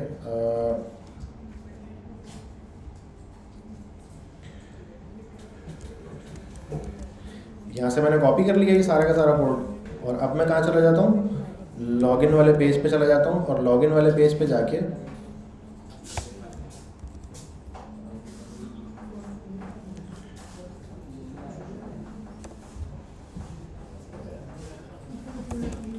वो सारा का सारा कोड मैंने यहाँ पे पेस्ट कर दिया लॉगिन वाले पे जाके। अच्छा लॉगिन करते हैं मुझे नेम लिखने की ज़रूरत नहीं होती? हटा दिया इसको। सही है, ऊपर यूज़ स्टेट बना हुआ नहीं है तो यूज़ स्टेट को कैसे करेंगे हम? ये ऑटोमेटिक इम्पोर्ट हो गया। सही है। सजेशन आती है, उस पर क्लिक करो तो ऑटोमेटिक इम्पोर्ट हो जाता है। तो ईमेल आ गया पासवर्ड आ गया। साइन अप हैंडलर को अब मैं क्या लिखूँगा इसका नाम? लॉगिन हैंडलर सही है लॉगिन हैंडलर कर दिया मैंने। और क्या है? ये क्रिएट यूज़र एंड पासवर्ड अब ये ज़ाहिर है, ये नहीं लिखूँगा मैं उसका नाम कुछ और लिखूँगा मैं। तो इतना कोड तो खैर अब ये रिप्लेस हो जाएगा ना मेरा। ये कोड तो मैं हटा देता हूँ। सही है। अभी लॉगिन हैंडलर के अंदर कुछ भी नहीं लिखा हुआ। अभी यहाँ पे और क्या है? This is sign up page नहीं दिस इज़ लॉगिन पेज ठीक है? लॉगिन हैंडलर ऑन सबमिट इस फॉर्म में भी मुझे नेम की ज़रूरत नहीं है।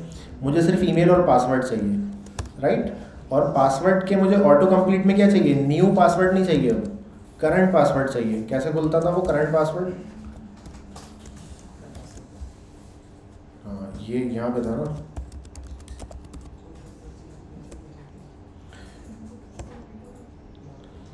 ये एक है न्यू पासवर्ड और एक है करंट डैश पासवर्ड तो मैं करंट पासवर्ड उसमें लिख देता हूँ। उससे क्या होगा कि जो पहले से सेव हुआ हुआ पासवर्ड है वो पकड़ लेगा उसी को हाँ जो करंट इस वक्त पासवर्ड जो सेट हुआ हुआ है उसका। जो ब्राउज़र में जो कैशे हुआ हुआ है ना ब्राउज़र में ऑटो कंप्लीट पे जो सेव हुआ हुआ है पासवर्ड वो पासवर्ड यहाँ पे वो पकड़ के लेकर रख देगा सही है तो ये मैंने जनाब लॉगिन का फॉर्म जो है वो रेडी कर लिया। अब मैं लॉगिन के पेज पे जाता हूँ तो कुछ इस तरह का मुझे अच्छा साइन अप अभी भी इस पर लिखा हुआ है ना लॉगिन और इससे पहले एक बी आर भी चाहिए मुझे। ठीक है तो ये मेरे पास अब क्या हो गया? देखो, पहले से ये मेरे पास यूज़र नेम और पासवर्ड लिखा हुआ गया पहले से ना। जो मैंने अभी ज़ाहिर है साइन अप करते हुए मैंने सेव किया था वो यहाँ लिखा हुआ गया और अब मैंने क्या करना है? लॉगिन का बटन प्रेस करना है। और लॉगिन का बटन प्रेस करने पे अभी फ़िलहाल कुछ हो नहीं रहा, ज़ाहिर है क्योंकि मैंने अभी इम्प्लीमेंट नहीं की वो लॉजिक अब इस लॉगिन हैंडलर के अंदर आके मैंने क्या करना है? ये वाला कोड लिखना है। सही है? कि किसी एग्जिस्टिंग यूज़र को अगर मैंने लॉगिन करवाना है ये मैंने पेस्ट कर दिया। इम्पोर्ट वाली लाइन जो है टॉप पे जाएगी ऑब्वियसली क्योंकि इस वाली जावा स्क्रिप्ट के अंदर ये अलाउ नहीं करता कि इम्पोर्ट आप बाद में करें। पुरानी वाली में हो जाता था। ठीक है, इसमें क्या था इम्पोर्ट सारा का सारा टॉप पे होगा। अच्छा गेट ऑथ वही तरीका। अब है sign in with email password उसमें क्या था? Create user with email password था ना? ये sign in with user password auth इसमें उसी तरह देंगे। ईमेल और पासवर्ड जो बंदे ने अभी टाइप किया, वो यहाँ पे पास करेंगे। अगर बंदे ने सही एंटर किया तो साइन इन हो जाएगा वो। अगर गलत एंटर किया तो एरर आ जाएगा। एरर को मैं क्या करता हूँ? स्क्रीन पे प्रिंट करवा देता हूँ। ठीक है? मैंने यहाँ पे कहा कि फायर बेस लॉगिन एरर और एरर मैसेज तो हाँ चलो एरर मैसेज सही है। इसमें से कोड और मैसेज दो चीज़ें इसने अलग की हुई है ना। तो यहाँ पे कोड भी प्रिंट करवा देता हूँ और मैसेज भी प्रिंट करवा ठीक है एरर का कोड है।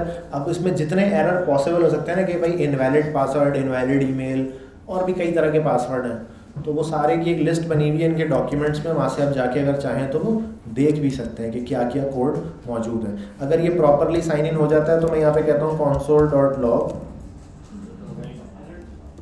ठीक है? लॉग इन सक्सेसफुल और कॉमा डाल के मैंने क्या करवा दिया? यूज़र का पूरा ऑब्जेक्ट प्रिंट करवा दिया, कि भाई यूज़र जो मिला है, उसको प्रिंट करवा दिया। सही है। और फॉर्म रीसेट मैंने उसमें नहीं करवाया था ना साइन अप वाले में वो भी करवाना होता है। वेल तो अब मैं इधर आके देखता हूँ जरा मेरे पास जो लॉगिन का पेज है, उसमें ये ईमेल और ये पासवर्ड जो साइन अप के वक्त ही सेव हो गया था, वो आ गया है यहाँ पे। ये क्या कह रहा है? यूज़र नेम लॉगिन सही है। तो यहाँ पे लॉगिन सक्सेसफुल लिखा हुआ आ गया। ठीक है? और ये मेरा पूरा यूज़र का ऑब्जेक्ट भी प्रिंट हो गया। अच्छा अगर मैं इसमें गलत पासवर्ड लिखता हूँ पासवर्ड में से एक मैंने माइनस कर दिया, और अब मैं लॉगिन करता हूँ तो ये मुझे क्या कह रहा है? फायर बेस्ड लॉगिन एरर ठीक है? देखो कोड आया ये। ऑथ स्लैश रॉन्ग पासवर्ड ये कोड था। सही है? और ये फिर मैसेज है। कोड और मैसेज दोनों प्रिंट करवाया ना मैंने। तो ये कोड आया, और ये मैसेज आया। अब ये कोड कौन कौन से हो सकते हैं पॉसिबल उस सब की लिस्ट मौजूद है फायरबेस के डॉक्यूमेंट्स में। वहाँ से आप देख सकते हैं। ठीक है? अब ये तो मसला मेरा हो गया हल। साइन अप भी हो गया और लॉगिन भी हो गया। अब मसला एक रह गया। वो मसला ये है कि मेरे पास जैसे ही वो साइन इन होता है या लॉगिन होता है तो मुझे फ़ौरन उसको क्या करना है? फ़ौरन उसको मुझे जो ना, ज़ाहिर है कि वेरिएबल मैंने बनवाया हुआ था ना, यही तो हमने चेंज करना था। इस वेरिएबल को हमने चेंज करना था ना रियल टाइम में। वो तो नहीं हुआ अभी तक। तो हमें यहाँ पे अब कुछ ऐसा गेम चलाना है कि रियल टाइम में यहाँ पे उसको पता चल जाए कि बंदा इस वक्त लॉग इन है या लॉग आउट है। ये उसको पता चल जाए। अच्छा अब ज़रा अभी डॉक्यूमेंट्स में थोड़ा आगे चलते हैं। इसने क्या बताया है? Set an authentication state observer कि हमारे पास एक अब ऐसा तरीका मौजूद है जिससे हम ऑब्ज़र्व कर सकते हैं स्टेट ठीक है? इस वक्त लॉग इन है बंदा या लॉग आउट है, उसकी स्टेट को ऑब्ज़र्व करने के लिए एक ऑब्जर्वर मौजूद है। वो ऑब्जर्वर कैसे काम करता है? वो कुछ इस तरह से काम करता है। कह रहा भाई, ऐसे करके आप इम्पोर्ट कर लो। मैंने कहा, ठीक है इम्पोर्ट कर लेते हैं। इम्पोर्ट मैं किसमें कर रहा हूँ? ऐप डॉट जे की फ़ाइल में, ठीक है? क्योंकि यहीं पे वो वेरिएबल है ना, जहाँ पे मुझे चाहिए। अच्छा जहाँ जहाँ चाहिए होगा, वहाँ वहाँ कर सकता हूँ ऐसा नहीं है कि किसी एक जगह पे करना ज़रूरी है मतलब कहीं भी कर सकता हूँ। किसी एक कंपोनेंट में मुझे अगर ऑब्ज़र्व करना है कि इस वक्त लॉग इन है लॉग आउट है, ठीक है? तो मैंने क्या किया? यहाँ पे इसको इंपोर्ट कर लिया। गेट ऑथ और ऑन ऑथ स्टेट चेंज ये देखो नाम से ही पता चल रहा है कि क्या काम करेंगे ऑन स्टेट चेंज जिसमें भी ऑन लगा हुआ होता है ना, इसका मतलब है वो क्या देता है आपको? वो आपको देता है, नहीं, वो तो इज़ होता है, जो इज़ वाला होता है। जिस पे लिखा होता है ना ऑन स्टेट चेंज इसका मतलब होता है ये पीरियोडिकली चलेगा, ये फ़ंक्शन एक बार नहीं चलेगा। इवेंट होगा ये, ठीक है? ऑन का मतलब इवेंट होता है। इसका मतलब हम उसको रजिस्टर कर देंगे, वो इवेंट मिलेगा। कभी भी मिल सकता है उसको इवेंट मल्टीपल टाइम मिल सकता है वो इवेंट तो जब वो इवेंट अकर होगा तो जब वो फ़ंक्शन चलेगा। तो एक्चुअली होगा क्या कि ऑन ऑथ स्टेट चेंज पे एक मुझे वो इवेंट देगा कि भाई अभी ये स्टेट चेंज का इवेंट अगर हुआ है। अब वो पहले लॉगिन था लॉग आउट हुआ है। या लॉग आउट था लॉग इन हुआ है। वो मुझे उस स्टेट चेंज का जो डेटा है ना इवेंट का जो पेलोड होता है, उसमें मुझे वो डेटा भी मिलेगा साथ में। कि भाई अभी असल में हुआ क्या है? लॉग इन हुआ है लॉग आउट हुआ है? तो ऑन स्टेट चेंज ये मैंने इसको इम्पोर्ट करवा लिया है। इम्पोर्ट करवाने के बाद ये नीचे का जो कोड है ना, इसको मैंने कॉपी किया और इसको कॉपी करके मैंने कहाँ पे रख दिया? अपने ऐप के यहाँ पे रख दिया इसको मैंने। ठीक है? ऐप के यहाँ पे इसको मैंने रखवा दिया। अब देखो हो क्या रहा है। इसने कहा गेट ऑथ गेट ऑथ के बाद ऑन स्टेट चेंज ऑथ का इसको वो हैंडलर दे रहा है और उसके बाद एक फ़ंक्शन है ये ये इतना बड़ा। नोट कर रहे हो? ये एक फ़ंक्शन है। ये फ़ंक्शन कब चलेगा? ये फ़ंक्शन जब चलेगा, जब ऑथ चेंज होगा। लॉगिन से लॉग आउट होगा या लॉग आउट से लॉगिन होगा, जब ये चलेगा। ऐसे नहीं चलेगा। ठीक है? अच्छा जैसे ही पेज पेज लोड होगा ना, एक दफ़ा उसी वक्त चल जाएगा। कि उस वक्त क्या स्टेट है? क्योंकि ज़ाहिर है, अगर मैं टैब बंद करके मैं टैब दोबारा ओपन करता हूँ तो वो तो पहले से लॉगिन था या नहीं था, वो तो स्टेट रहेगी ना। क्योंकि ये कुकीज़ में सेव होता है कि आप इस वक्त लॉगिन है या नहीं है। कुकीज़ ख़त्म नहीं होती। अगर आप ब्राउज़र बंद भी कर दें ना पूरा शट डाउन भी कर दें पीसी और दोबारा से आप ओपन करें, और आपकी कुकीज़ अगर है मौजूद तो इसका मतलब है आप अभी भी लॉगिन है। तो वो लॉगिन का स्टेट ये एक दफ़ा तो फ़ौरन ही चल जाता है ऐप लोड होते ही। तो आपको बता देता है कि इस वक्त क्या स्टेट है फिर दोबारा कब चलता है? जब स्टेट चेंज होती है। अच्छा तो इफ़ यूज़र अगर उसको मिल जाता है तो इसका मतलब है कि बंदा लॉगिन है। सही है। और एल्स अगर यूज़र इसको नल मिलता है तो इसका मतलब है बंदा लॉगिन नहीं है। ठीक है तो मैं कहता हूँ इफ़ यूज़र अगर है ना तो मैं कहता हूँ सेट लॉगिन को क्या करो? ट्रू करो। यही करूँगा ना मैं। और एल्स में क्या करवाऊँगा मैं मैं कहूँगा इसको फॉल्स कर दो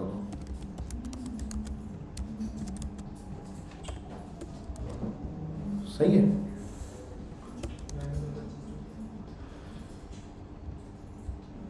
बिल्कुल ओके हो गया, ज़बरदस्त हो गया। चलते हैं। अच्छा इस पर कॉन्सोल तो मैंने करवाया ही नहीं हुई कॉन्सोल भी करवाते हैं ना, ताकि मुझे एग्जैक्टली पता चले कि ये कब चलता है। मैंने कहा, भाई ऑथ चेंज और लॉगिन लॉगिन और कॉमा यूज़र भी मैंने यहाँ प्रिंट करवा दिया। ठीक है? और इसी के नीचे वाले में मैं एल्स में क्या लिखता हूँ? कि ऑथ चेंज लॉग आउट और लॉग आउट पे कोई यूज़र नहीं है। कुछ भी प्रिंट नहीं होगा ना ठीक है? ताकि जब ये इफ़ चले या एल्स चले तो मुझे एग्जैक्टली पता भी चले कि भाई हाँ यार, ये इसकी वजह से हुआ। चलते हैं जी हम।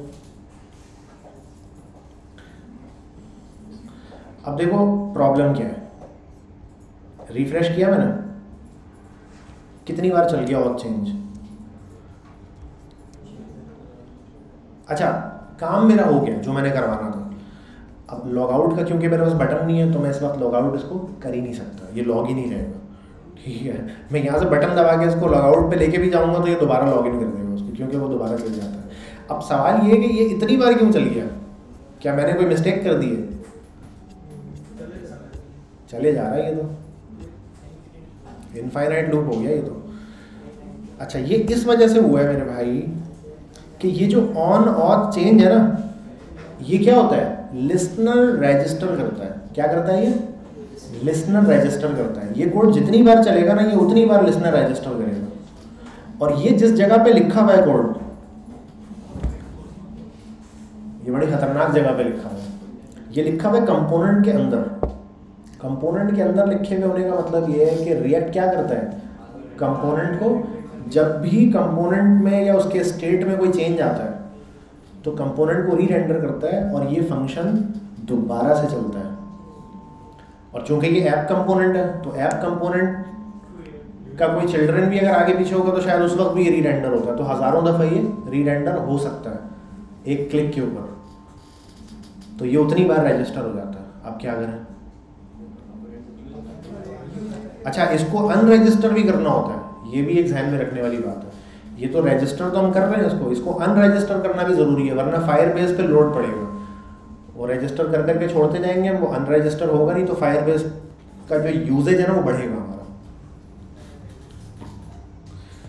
अब बताओ इसका ऐसा क्या करेंगे, ये दोबारा ना चले। एक बार चले सर बिल्कुल सही बताया। ठीक है, ये यूज़ इफ़ेक्ट में लिखा जाएगा। इसको मैंने कट किया यहाँ से और मैंने कहा कि भाई यूज़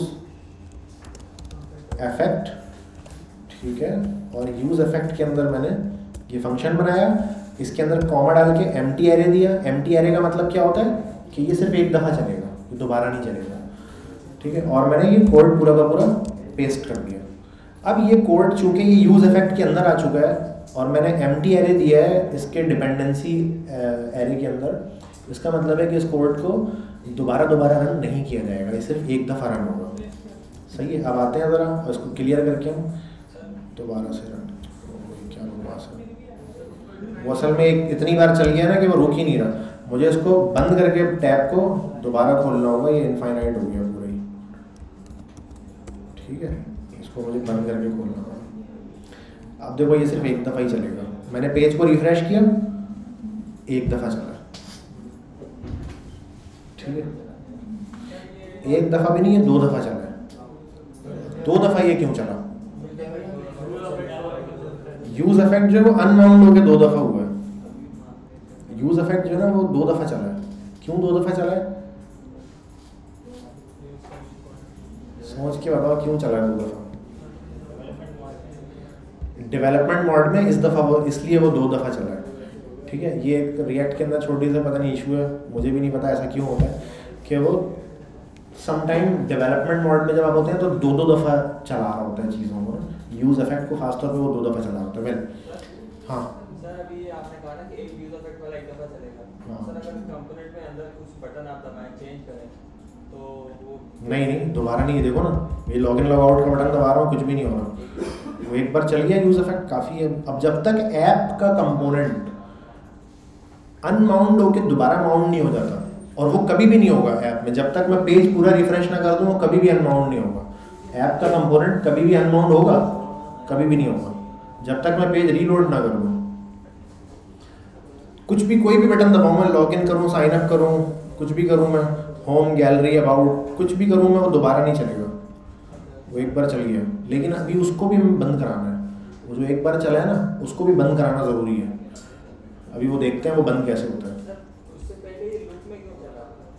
लूप में इसलिए चला, वो कंपोनेंट जितनी बार चल रहा है उतनी बार चल रहा था वो। कंपोनेंट बार बार क्यों चल रहा था, इसका तो तुम दोगे जवाब। रिएक्ट आदि बढ़ चुके हो तुम कंपोनेंट बार बार क्यों चल रहा था, तुम बताओ। जब भी किसी स्टेट में, यानी कि इस वेरिएबल में चेंज आता है तो कंपोनेंट रीरेंडर होता है। तो होता ये था कि वो पहली बार जैसे ही चलता था, वो क्या बोलता था? वो बोलता था, इस लॉगिन को कर दो ट्रू तो इस लॉगिन ट्रू हुआ तो स्टेट चेंज हुई तो उस पर ये दोबारा चलता था। फिर जब दोबारा चलता था, फिर कहता था ट्रू हो जाओ। फिर दोबारा होता था। तो इस तरह वो इनफाइनाइट चल जाता सही है। अच्छा अब इसको, ये जो ऑन स्टेट चेंज हुआ है ना अभी रजिस्टर हो गया अब ये जब भी मैं लॉग इन लॉग आउट करूँगा, ये मुझे बताएगा। तो अब हमें क्या करना है? अब लॉग आउट का बटन दबाना है हमें। लॉग आउट का बटन तो अभी तक है नहीं। चलते हैं, ढूंढते हैं किधर है डॉक्यूमेंट्स में वो। अबे लॉग आउट किधर है भाई? हाँ भाई गिटहब वाला कर लें। ये काफ़ी हो गया अभी। पहले लॉग आउट तो करें इसको। वेल अच्छा भाई।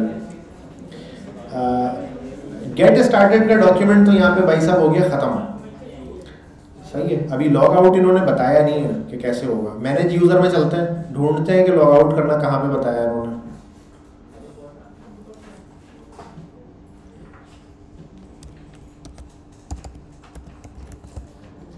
यहाँ पे तो नहीं है। पासवर्ड ऑथेंटिकेशन में चलते हैं यहाँ पे बताया होगा शायद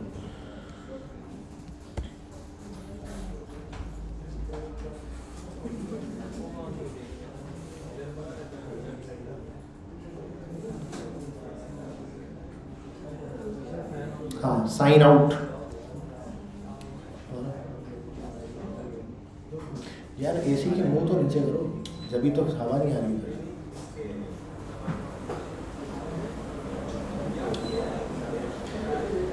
अच्छा भाई साइन आउट मिल गया हमें कि कहाँ पे होता है? ये साइन आउट आ गया हमारा। अब ये साइन आउट का बटन हमें कहाँ पे लगाना है? ऑब्वियसली नेविगेशन बार के साथ लगाना है। है ना? तो चलते हैं जी लॉग साइन आउट का ज़रा जुगाड़ करते हैं। तो मेरा जो नेविगेशन बार है, वो एक्चुअली मेरी कहाँ पे बना हुआ है? मेरे पास वो ऐप डॉट जे पे ही बना हुआ है। तो मैं क्या करूँगा? यहाँ पे आके इसको इंपोर्ट कर लेता हूँ मैं। अच्छा ये क्योंकि एक ही जगह से इंपोर्ट हो रहे हैं ना तो मैं साइन आउट को जैसे कट करके इधर ले आता हूँ। सही? अलग से मुझे पूरी लाइन लिखने की ज़रूरत नहीं है। तो साइन आउट को मैंने इंपोर्ट कर लिया और साइन आउट का जो कोड है, वो ये रहा। सही है, ये है कोड साइन आउट का। तो मैंने इसको कॉपी कर लिया। कॉपी करने के बाद मुझे करना क्या है? मुझे अपने नेविगेशन बार में, यानी कि जहाँ पे गैलरी अबाउट पोर्टफोलियो ये सब लिखा हुआ है, मुझे इसी के साथ एक बटन बनाना है, जो क्या होगा? लॉग आउट लिखा हुआ होगा उस पर ठीक है? और वो बटन होगा एक्चुअली उसमें ये टू वो नहीं होगा। ठीक है? बटन के ऑन क्लिक पे मैं एक फ़ंक्शन चलवा लूँगा मे बी ठीक है? ये एक बटन बना दिया मैंने लॉग आउट का। इसके ऑन क्लिक पे मैंने एक फ़ंक्शन चलवा दिया। मैंने कहा लॉग आउट हैंडलर ठीक है? लॉग आउट हैंडलर एक बनवा दिया मैंने। मैंने कहा const log out handler equals to और यहाँ पे ये मैंने पूरा पेस्ट कर दिया ये काम।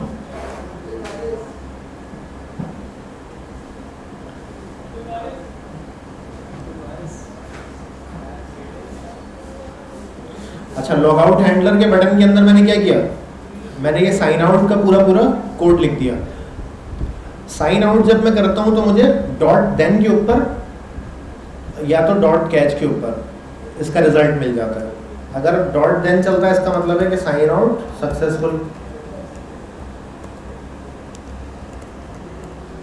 सही है। साइन आउट सक्सेसफुल और यही चीज़ अगर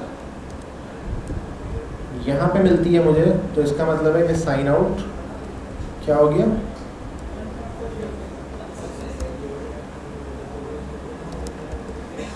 फेल्ड ठीक है जी। अब चूँकि पहले तो लॉग आउट का बटन या साइन आउट का बटन था ही नहीं ना तो मेरा ये जो ऑन ऑफ़ चेंज है, ये चल रहा है कि नहीं चल रहा है मैं कंफर्म करने का कोई तरीका ही नहीं था। अब मेरे पास ये कंफर्म करने का तरीका है, क्योंकि मेरे पास एक बटन है अब लॉग आउट का। अच्छा अभी ये ऐसे बना हुआ है ऑब्वियसली ये हॉरिजॉन्टल होगा ये वाला पार्ट मेरा, सही है ना?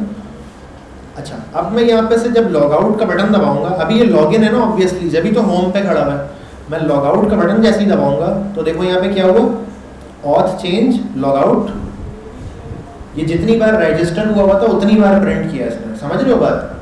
ये कितनी बार रजिस्टर हुआ हुआ था देखो? छह दफ़ा रजिस्टर हुआ हुआ था। अभी इसको भी रोकना है। ये सिर्फ़ एक दफ़ा रजिस्टर होना चाहिए अभी देखते हैं वो कैसे होगा। वेल well, तो साइन आउट सक्सेसफुल लिखा हुआ आ गया और ये मुझे लॉगिन के पेज पे भी उठा के घुमा के ले आया। अब मैं रिफ्रेश जितना भी करूँगा ये क्या होगा? ये इधर ही रहेगा। जैसे ही लॉगिन का बटन प्रेस करूँगा, ये मुझे घुमा के होम पे ले जाएगा। और ऑथ चेंज इस बार दो दफ़ा रजिस्टर था, इसलिए दो बार चला मे बी वैसे तो दो बार तो समटाइम बग की वजह से चलता है, लेकिन दो से ज़्यादा ऑब्वियसली वो उसी की वजह से चल रहा होता है कि वो रजिस्टर बार बार हुआ हुआ वेल अब ये इसका जो ऑब्जर्वर है ना मेरा ऑन ऑफ़ चेंज वाला, उसको मुझे क्या करना होता है हाँ, उसको मुझे ख़त्म करवाना होता है ना।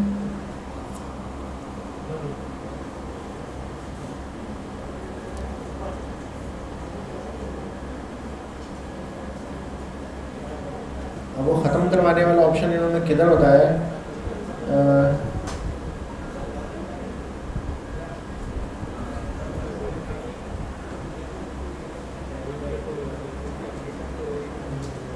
यहीं से देख लेते हैं सजेशन में शायद मुझे ये इंटेलिजेंस में बता दें ठीक है, जब ये फ़ंक्शन कॉल होता है ना तो मुझे अनसब्सक्राइब ये दे देता है, खुद ही दे देता है अनसब्सक्राइब ठीक है तो मैं क्या करता हूँ, यहाँ पे मैं कहता हूँ कि यार const unsubscribe equals to this ठीक है, ये अनसब्सक्राइब मुझे ये खुद ही देता है। जब ये कॉल होता है तो खुद ही मुझे कहता है, ये अनसब्सक्राइब दे रहा हूँ मैं आपको। अच्छा ये अनसब्सक्राइब मैंने कहाँ पे लगाना है? ये मैंने लगाना है क्लीनअप पे। कंपोनेंट का क्लीनअप हम पहले डिस्कस कर चुके हैं, जहाँ तक मुझे याद पड़ रहा है। कैसे करते थे? याद है? बताओ। रिटर्न लगाते हैं। ठीक है? रिटर्न पे मैं क्या करता हूँ? एक फ़ंक्शन यहाँ से रिटर्न करवाता हूँ। ठीक है? और इस फ़ंक्शन के अंदर मैं जो भी चीज़ लगाऊँगा ना, वो क्या होगा? वो इस कंपोनेंट के अनमाउंड होने पे वो चल जाएगा। ये फ़ंक्शन जो है कब चलेगा? इस कंपोनेंट के अनमाउंड होने पे। तो अब देखो, हो क्या रहा है? जैसे ही ये मेरा पेज खुलेगा, जैसे ही ये कंपोनेंट स्क्रीन पे विजिबल होगा, वैसे ही क्या होगा? सब्सक्रिप्शन हो जाएगी। सर्वर पे एक सॉकेट ओपन हो जाएगा, जो मेरे पास कनेक्ट हो जाएगा और जो मुझे रियल टाइम में डेटा दे रहा होगा। सही है? अच्छा उसके बाद जैसे ही मैं अपना टैब क्लोज करूँगा या पेज को रिफ्रेश करूँगा तो पहले क्या चलेगा? अनसब्सक्राइब चलेगा पहले। सर्वर से उसको डिस्कनेक्ट करेगा उस सॉकेट को। अगर मैं रिफ्रेश करता हूँ पेज को तो पहले सर्वर से उसको डिस्कनेक्ट करेगा। क्लीन अप करेगा। उसके बाद वो रिफ्रेश करेगा पेज को। तो अब अगली बार जब रिफ्रेश होकर दोबारा लोड होगा तो फिर नए सिरे से वो कनेक्शन बनेगा। इस तरह होगा क्या? कि कभी भी मेरे पास एक से ज़्यादा सब्सक्रिप्शन नहीं होगी। और एक से ज़्यादा सब्सक्रिप्शन जहाँ हुई, मेरी ऐप हैवी होना शुरू हो जाएगी। मेरी ऐप हैवी इस वजह से होगी कि वो ज़ाहिर है जितने कनेक्शन बने हुए हैं सर्वर से, वो वहाँ से डेटा रिसीव करेगी ना तो इंटरनेट का डेटा भी ज़्यादा मेरा जाएगा। और जब वो डेटा रिट्रीव करके ज़ाहिर है रैम मेमोरी में लेकर आना है उसने, फिर सर्वर पे भी क्योंकि तीन चार एक्स्ट्रा कनेक्शन बने हुए हैं या दस बारह जितने भी बने हुए हैं तो वो सर्वर की जो रिसोर्सेज हैं वो ज़ाया हो रही है मेरी, ठीक है? जो होनी नहीं चाहिए। वेल तो मैं सब्सक्राइब जहाँ पे रन करता हूँ ना, यहाँ पे मैं क्या लगा देता हूँ? एक कॉन्सोल भी लगा देता हूँ कॉन्सोल डॉट लॉग ठीक है? अनसब्सक्राइब फ़ंक्शन कॉल्ड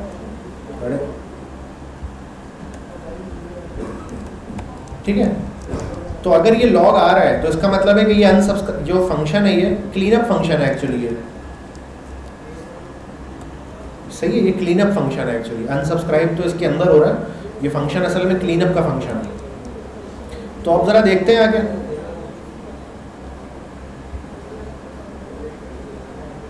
इसको वैसे मैं नए टैब में खोलूँगा, ताकि वो पुराने वाले टैब का उस पर कोई असर ना हो। ठीक है?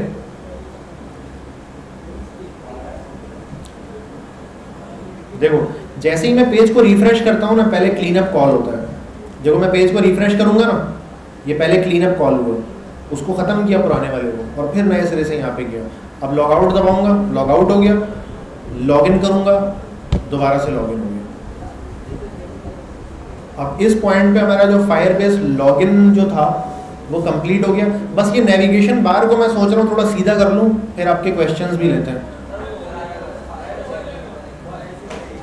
क्या?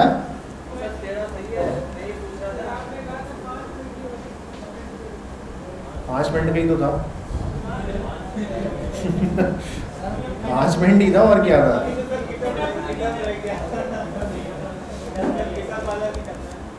कौन सा करना है? गिटअप क्या रहेगी अरे भाई, वो तो तुम लोग मुझे करके दिखाओगे। अब सब चीज़ें मैं ही चलो, बता दूँगा और एक मिनट पहले मैं इसका ये सीधा कर रहा हूँ यार। मुझे इसको देख देख के ना एनजाइटी उठ रही है।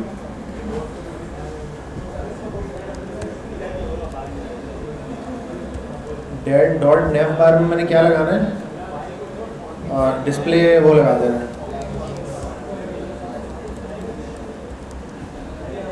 सही है, सीधा हो गया। और ये डॉट को ख़त्म करने के लिए क्या लगाते हैं? Text decoration less style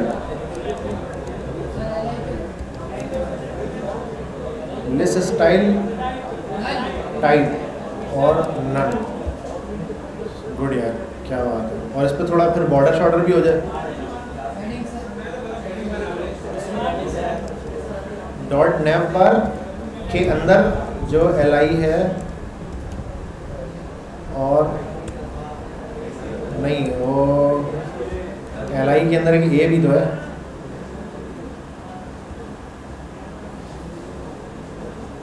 हाँ एल आई पे लगा देते हैं सही हाँ?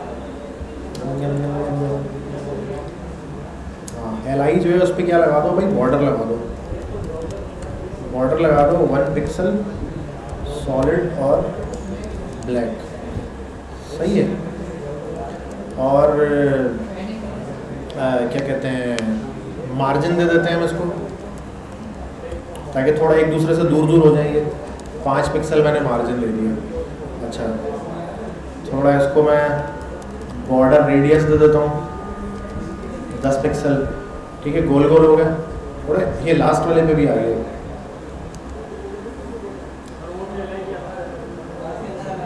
करते हैं करते हैं, अभी उसका भी कुछ करते हैं। और मैंने कहा डॉट नेव बार के अंदर जो एल आई है, और उसके अंदर जो एंकर टैग है, उसको क्या दे दूँ? पैडिंग दे दूँ मैं? दस पिक्सल टेक्स्ट डेकोरेशन से ये बॉर्डर हट जाएगा ना, क्या होगा? अंडरलाइन जो हो रहा है टेक्स्ट डेकोरेशन में। अब कुछ अच्छा सा लग रहा है, नहीं? इस तरफ़ से इतना आगे क्यों आया मैं है भाई, इस तरफ़ से इतना आगे क्यों आ गया? अच्छा। इसको मैं जस्टिफाई कंटेंट कर देता हूँ राइट राइट होगा ना? राइट पे होता है ये, जितने भी नेविगेशन बार होते हैं, वो राइट पे होता है एक्चुअली अच्छा ये जो ऐप डॉट जी पे मैंने बटन बनाया हुआ था extra log in log out करवाने के लिए, अब इस बटन की मुझे ज़रूरत नहीं है राइट वो बटन मैंने हटवा दिया। और ऊपर भी इसके कुछ है क्या? अच्छा नहीं, वो मैंने पैडिंग बहुत ज़्यादा दे दी है, इसकी वजह से हो गया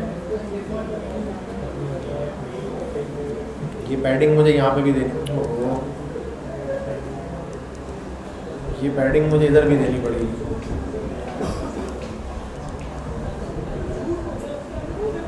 सही है इसको मैंने जूम इन भी तो बहुत ज़्यादा किया है ना। अब ये हुआ है जूम इन इसका रीसेट ठीक है भाई तो ये कुछ मेरा इस तरह से हो गया अभी। लॉग आउट करूँगा मैं तो ये आ गया। और जब मैं अब लॉगिन का बटन प्रेस करूँगा तो ये कुछ इस तरह का आ गया। ठीक है बॉर्डर रेडियस थोड़ा सा बढ़ा देते हैं इसका बहुत कम है बॉर्डर रेडियस ठीक है बॉर्डर रेडियस थोड़ा सा मैंने बढ़ा दिया। वेल well, आप लोग चाहें तो मज़ीद इसकी स्टाइलिंग को बेहतर बना सकते हैं। मैंने तो वैसे ही मतलब गुजारे लाइक किया है सिर्फ़ अभी स्टाइलिंग इसकी ना। ठीक है जी तो ये होम पेज आ गया आपका और ये प्रोफ़ाइल ये अबाउट ये गैलरी और लॉग आउट अगर मैं वंस कर देता हूँ मैं अबाउट पे खड़ा हूँ यहाँ पे और इसमें मैं वंस लॉग आउट का बटन प्रेस कर देता हूँ तो मैं जितना भी बैक का बटन प्रेस कर लूँ, मैं उस पर वापस नहीं जा सकता। ठीक है?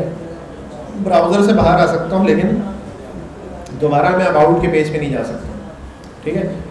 क्योंकि मैंने उस पर ऑथ गार्ड लगाया हुआ है टर्नरी ऑपरेटर के ज़रिए कंडीशनल किया हुआ है कि भाई अगर लॉगिन ट्रू हो, जब ही ये राउट्स दिखाए जाए अदरवाइज़ वो राउट्स ही नहीं अवेलेबल जी, अब सवाल आपके ज़ोर से बोलिए। नहीं, अभी तो एक और भी करेंगे ना सोशल लॉग इन भी करके देखेंगे। हाँ। कोड में आ गया मैं ये लोग। माउंट माउंट कुछ नहीं होता मतलब जब वो स्क्रीन पे जब आपका कंपोनेंट आता है, यानी मेमोरी में जब ये कंपोनेंट लोड हो जाएगा, उसकी बात हो रही है माउंट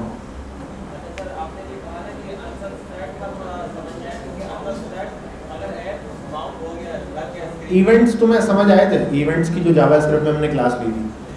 जिसको ये सब्सक्राइब अनसब्सक्राइब समझ नहीं आ रहा ना, वो इवेंट्स वाली क्लास की रिकॉर्डिंग दोबारा देख लो वो पड़ी हुई है प्लेलिस्ट के अंदर। हाँ। अनसब्सक्राइब थोड़ी होंगे। क्यों होंगे अनसब्सक्राइब वो तो मुझे ये चेंज मिलेगा, ये सब्सक्रिप्शन चलेगी मेरी log in log out log in log out unsubscribe होंगे कि मुझे इवेंट मिलना बंद हो जाए अनसब्सक्राइब उसको बोलेंगे जब मुझे इवेंट मिलना बंद हो जाए। क्यों होना चाहिए? नहीं, बिल्कुल भी नहीं होना चाहिए। भाई फेसबुक इस कंप्यूटर में एक फेसबुक चल रहा है। तुम आए, तुमने कहा, सर, अब अपना लॉग आउट करें, मैं अपना करूँगा लॉगिन मैंने लॉग आउट कर दिया। तुमने अपना पासवर्ड डाला, तुम लॉगिन हो गए। फिर तुमने कुछ किया, तुमने छोड़ा, फिर दूसरा कोई आया। उसने बोला, सर, अब मैं अपना लॉगिन करूँगा। उसने लॉगिन किया तो ये लॉगिन लॉग आउट चलता रहेगा। इससे अनसब्सक्राइब नहीं होना चाहिए। अनसब्सक्राइब जब होगा, जब मैं वो पेज छोड़ के जा रहा हूँ। अब मैं उस पेज पे मौजूद ही नहीं हूँ या उस ऐप पे मौजूद ही नहीं हूँ, उस टैब को मैं बंद कर रहा हूँ तो अब वो अनसब्सक्राइब होना चाहिए। क्यों?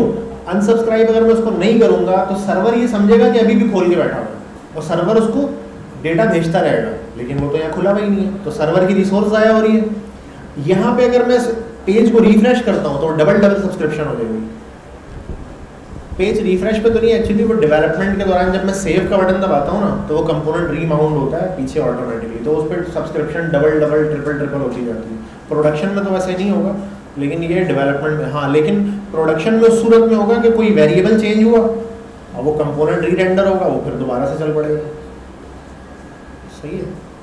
तो ये एक तो यूज़ इफ़ेक्ट के अंदर लिखना है ताकि वो एक ही बार चले कंपोनेंट से दोबारा ना चले और उसके क्लीनअप में उसको मैंने अनसब्सक्राइब करवाना ये दो काम आपने लाजमी करने हैं। दोनों में से कोई एक भी आपने छोड़ा अगर तो वो सब्सक्रिप्शन बहुत ज़्यादा दफ़ा हो जाएगी और आपकी पूरी ऐप स्लो डाउन हो जाएगी। और किसी का कोई सवाल? जी। हाँ हाँ सब होता है अभी तो। अभी तो हमने हेलो वर्ल्ड किया इसका। नहीं, वो कर सकते हैं, बिल्कुल खुद ही कर लेना वो तो। नहीं मतलब इतना भी कोई मुश्किल नहीं है। देखो यहाँ पे मैं गया। पासवर्ड ऑथेंटिकेशन के अंदर। अब यहाँ पे जो जो कुछ यहाँ पे पॉसिबल है ना, वो सब यहाँ पे आप कर सकते हो। हमने ये वाला किया create user with email password ठीक है? और ठीक है? Sign in user with email password ये भी हमने कर लिया। और हमने साइन आउट कर लिया। तीन चीज़ें हमने कर ली अब इसमें और क्या क्या पॉसिबल है ना, वो सब इसमें लिखा हुआ है। Update user delete user X Y Z ठीक है? मैनेज यूज़र के सेक्शन में जाता हूँ मैं। अब जो भी मैं भी करवाऊँगा ना, मैं यहीं से देख के करवाऊँगा। देखो मैनेज यूज़र में क्या लिखा हुआ है? ऑन ऑथ चेंज का जो ऑब्जर्वर है, वो लिखा हुआ है यहाँ पे। ठीक है? सब लिखा हुआ है यहाँ पे। गेट अ यूज़र्स प्रोफ़ाइल अभी किसी यूज़र की प्रोफ़ाइल आपको गेट करनी है अगर तो वो आप कैसे करोगे? वो लिखा हुआ है। अभी साइनअप के वक्त उसका नाम वगैरह, ये देखो अपडेट यूज़र प्रोफ़ाइल ये भी आ गया। कि किसी यूज़र की जो प्रोफ़ाइल है, उसको अपडेट कैसे करना है? ठीक है। ये उसका तरीका है। तो ये मेरा नहीं ख्याल कि कोई ऐसी चीज़ है जो मैं आपको यहाँ पे लिख के दिखाऊँगा तो आपको समझ आएगा। ये बहुत ही इजी सी चीज़ है, आप इसको खुद भी कर सकते हो। Set a user's email address send a user verification email आप उसको ईमेल भी भेज सकते हैं कि भाई, आपको मैंने ईमेल भेज दिया, जाके बटन दबाओ वेरीफाई हो जाएगा। वो आपको कुछ भी नहीं करना, आपको ये सेंड वेरिफिकेशन ईमेल भेजना है। और उसके बाद ऑटोमेटिकली एक ईमेल चली जाएगी। मैं ये भी कर सकता हूँ साइन अप के फ़ौरन बाद ये काम करवा दूँ। मैं इधर आ जाता हूँ साइन अप के फ़ौरन बाद ये काम करवा देता हूँ। मेरा साइन अप किधर है? ये रहा। सही है साइन अप हैंडलर है ना ये? साइन अप हैंडलर का आ गया मेरा, ये रहा। साइन अप हैंडलर के देन में ना मैं ये काम करवा देता हूँ फ़ौरन ही। ठीक है? इसको इम्पोर्ट करवा लेता हूँ ऊपर। ये इम्पोर्ट हो गया यहाँ पे। और सेंड वेरिफिकेशन ईमेल मैंने, जैसे ही साइन अप हुआ मैंने कहा, फ़ौरन इसको ईमेल भेजो। दैट्स इट इसको फिर आप बाद में चेक भी कर सकते हैं कि उसने वेरीफाई किया कि नहीं किया। आपने देखा था, जब मैंने थोड़ी देर पहले साइन अप किया था और साइन इन किया था तो वो मुझे पूरा यूज़र का ऑब्जेक्ट देता था। उसमें लिखा हुआ था ईमेल वेरीफाइड ट्रू फॉल्स वहाँ पे मुझे आ रहा होगा कि इसने वो बटन प्रेस किया है कि नहीं किया। ये पीछे ऑटोमेटेड है, आपको कुछ करने की ज़रूरत नहीं है। ईमेल फायरबेस खुद भेजता है।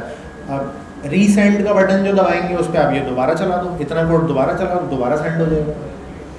ठीक है? तो बहुत ही ईजी है ये। अच्छा साइन अप करते वक्त वो डेटा कैसे भेजना है नेम वगैरह, वो अभी तक इसमें कहीं नज़र नहीं आ रहा। ये देखो रीसेट पासवर्ड का लिंक भेजना है तो वो भी यहाँ पे अवेलेबल है। आपका एक पेज वो भी होता है ना कि यार रीसेट पासवर्ड का बटन दबाओ, वो बोलता है, अपना ईमेल बता दो। और फिर ईमेल पे आपको भेज दूँगा मैं कि आगे का प्रोसेस क्या है। तो वो रीसेट पासवर्ड पे आपने ये फ़ंक्शन कॉल करना है। ये तो ऑथ पता है आपको गेट ऑथ करके देना है, उसके बाद ईमेल लिख के यहाँ पे भेज देना वो फायर खुद भेजेगा उसको बैकग्राउंड पे, कि पीछे क्या करना है, क्या नहीं करना, वो खुद भेजेगा। ठीक है। डिलीट यूज़र भी कर सकते हैं आप। और री ऑथेंटिकेट यूज़र भी। अभी वो नहीं पता चला कि साइन अप करते वक्त उसको वो कैसे भेजेंगे हम? डेटा कैसे भेजेंगे? साइन अप करते वक्त मैं ईमेल और पासवर्ड के अलावा भी कुछ चीज़ें भेजना चाह रहा हूँ। वो कैसे भेजेंगे वो यहाँ पे कहीं पे भी ज़िक्र नहीं है। हाँ? मैसेज और कॉल इतना पहले करके लाओगे, फिर आगे बताऊँगा। अभी वैसे भी टाइम ओवर हो गया आपकी क्लास का। इतना करके लाओगे पहले तो। अभी बस वो एक लास्ट चीज़ मैं देख रहा हूँ कि वो साइन अप करते हुए ना, क्या बकवास है यार।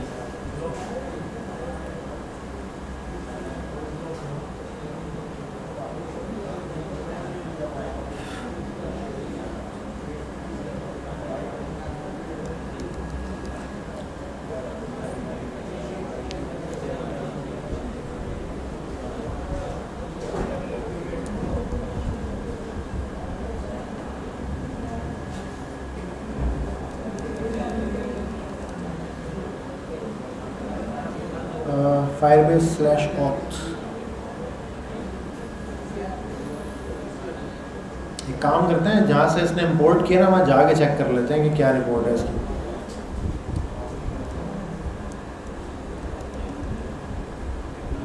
ये है ना डेक्लेरेशन वो उसने सीधे तरीके से बताया हुआ नहीं है ना डॉक्यूमेंट्स में। तो फिर हमें अब करना क्या पड़ेगा? मजबूरन हमें जाके ना उसके देखना पड़ेगा। ये मैं एक्चुअल में कहाँ जा रहा हूँ, वो भी बता देता हूँ आपको मैं। ये मैं जा रहा हूँ नॉट मॉड्यूल्स में राइट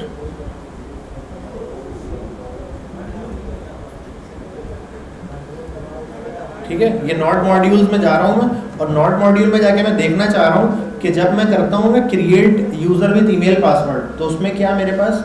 ईमेल और पासवर्ड के अलावा भी कुछ देने का ऑप्शन है तो वो मैं चेक करने जा रहा हूँ अभी। ठीक है एफ़ में चलते हैं सी सी ये भी चल रहे हैं डी एफ़ अब एफ़ के अंदर फायर बेस होगा यहाँ पे कहीं।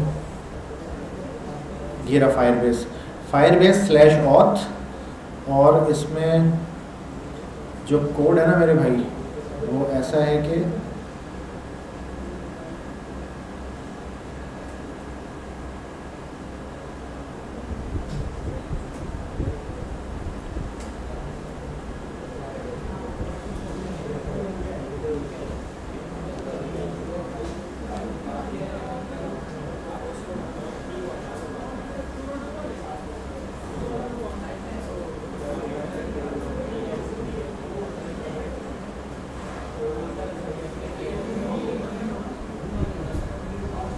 अरे यार ये तो मिनीफाइड कोड है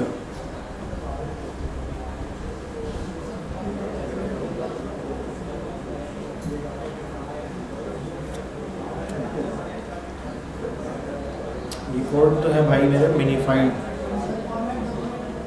नहीं होगा नहीं हुआ ना कहाँ हुआ ये मिनीफाइड कोड है तो हम फायर बेस की उस पर चलते हैं ऑफिशियल रिपोजिटरी पे यहाँ पे तो नहीं होगा ना मिनीफाइड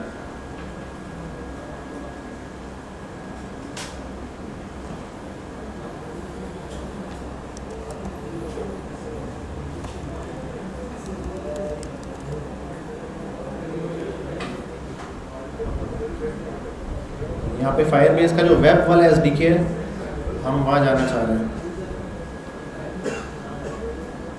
पता नहीं, उसको क्लोज सोर्स ही तो नहीं कर दिया इन्होंने।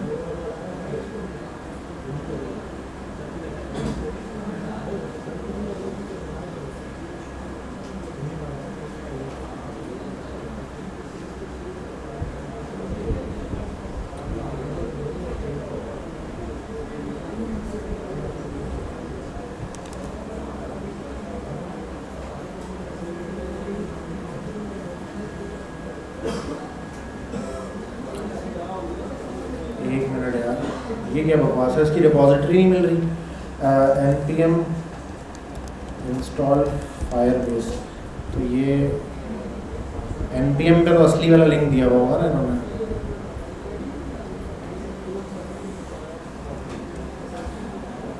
एन पी एम पे तो असली लिंक दिया होगा। ये फायर बेस अच्छा फायर बेस से ज़रा चलते हैं। अच्छा ये आ गई इसकी ऑफिशियल रिपोजिटरी तो यहाँ पे से ज़रा जाके देखते हैं अब के अच्छा।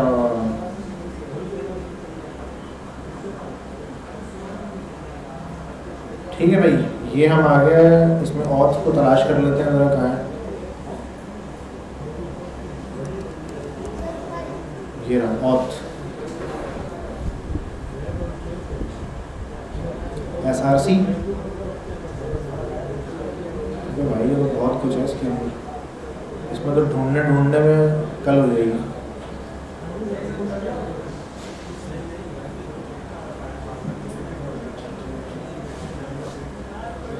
Authentication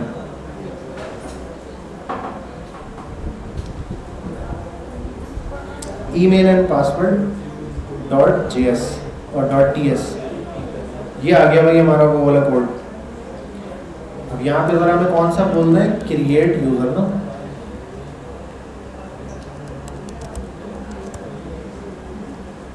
Sign in with password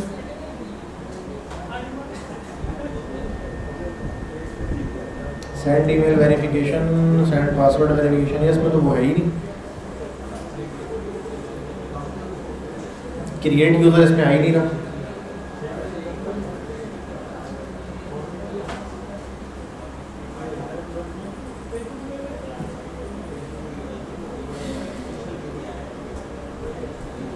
Sign up dot T S में अवेलेबल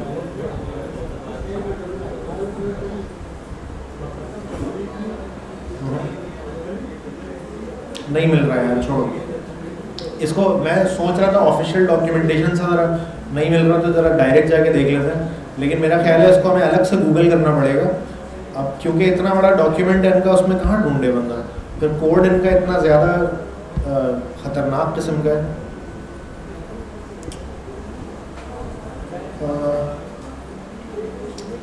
अलग से गूगल करते हैं। सही है। आ, पहले तो उस फ़ंक्शन का नाम लिख देते हैं जो था create user create user with email password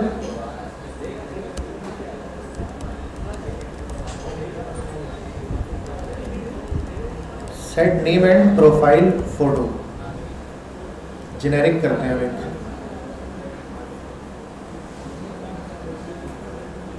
Uh, Firebase create user with email password, display name, URL.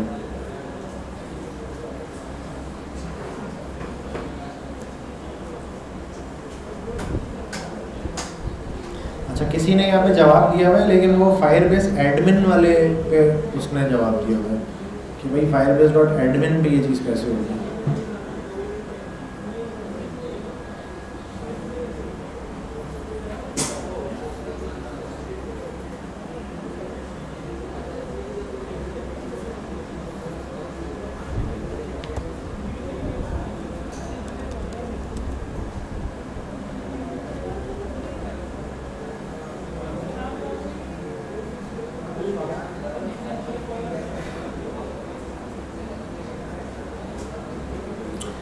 एक चीज़ और भी तो मैं कर सकता था यहाँ पे ज़रा मैं के देखता हूँ, ये सजेशन में मुझे क्या क्या बता रहा है।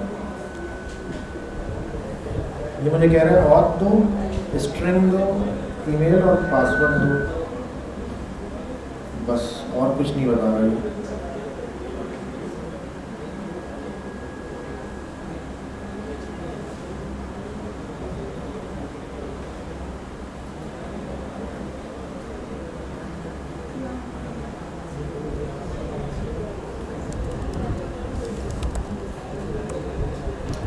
while sign up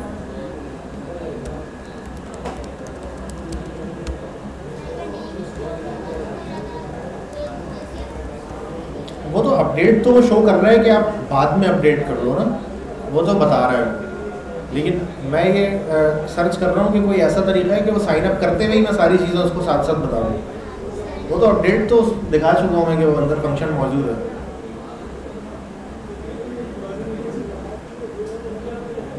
How how to include name when storing email?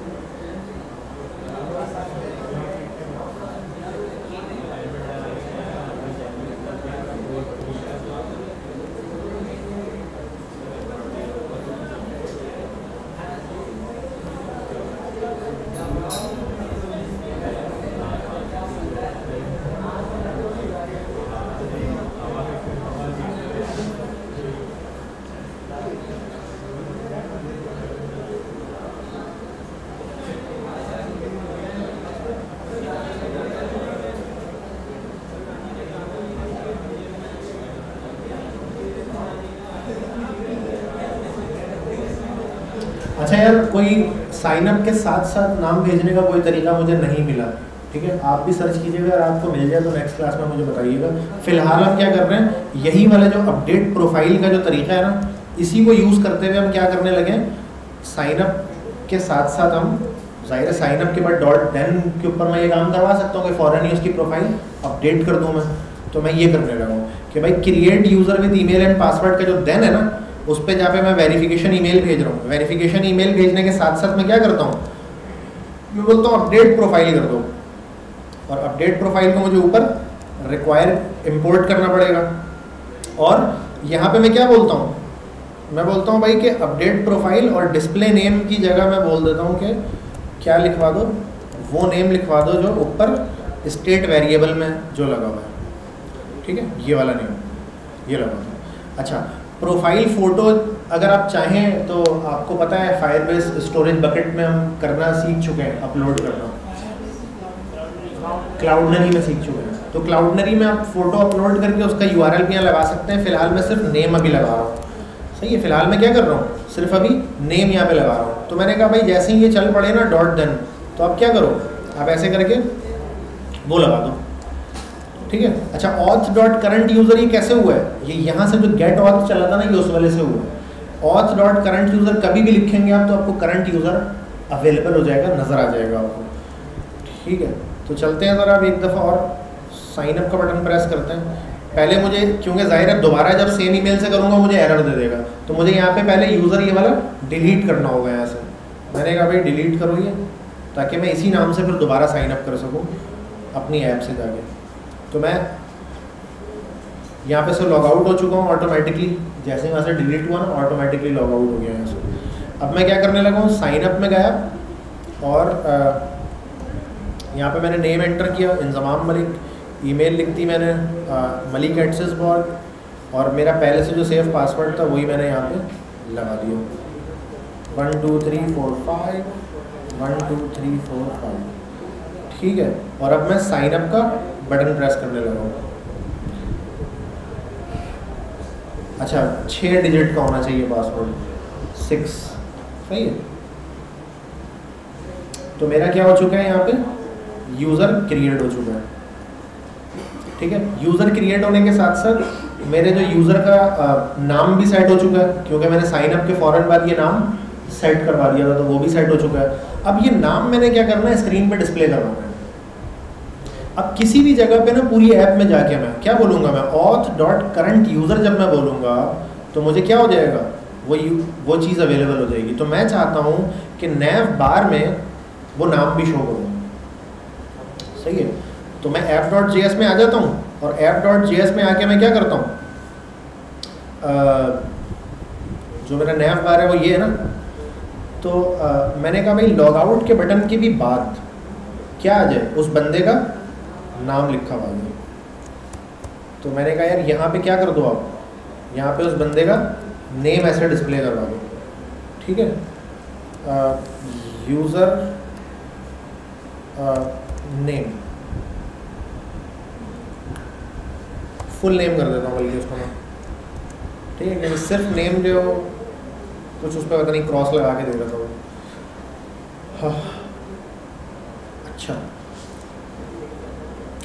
और अब ऑब्वियसली जो चीज़ मुझे स्क्रीन पर डिस्प्ले करवानी होती है, वो मुझे कहाँ रखनी होती है? स्टेट वेरिएबल में। तो मैं यहाँ पे क्या करूँगा? एक स्टेट वेरिएबल और बनाऊँगा, जिसके अंदर मैं क्या नाम रखूँगा? यूज़र फुल नेम था ना? फुल नेम और सेट फुल नेम ठीक है? अब जब मेरा यूज़ इफ़ेक्ट चलेगा यूज़ इफ़ेक्ट के अंदर मेरे पास क्या मौजूद है? ये ऑथ मौजूद है। इस ऑथ से क्या निकाल सकता हूँ मैं? डॉट करंट यूज़र निकाल सकता हूँ मैं? तो मैंने कहा कि भाई सेट फुल नेम मैं क्या करवा दो? ये ऑथ डॉट करंट यूज़र ना पूरा का पूरा उसमें रखवा दो। और साथ साथ मैंने क्या बोला? मैंने कहा, भाई फुल नेम को क्या कर दो यहाँ पे? कॉन्सोल भी कर दो। ताकि मुझे दिख भी जाए ना कि फुल नेम में आ क्या रहा है। बल्कि फुल नेम में नहीं, इसी को ही कंसोल करवाते हैं ना। ये ऑथ डॉट करंट यूज़र को ही करवाते हैं। क्योंकि मुझे चाहिए सिर्फ़ फुल नेम क्योंकि इसमें आएगा बहुत सारा कुछ। फुल नेम के अलावा भी बहुत सारा कुछ आ रहा होगा इसमें।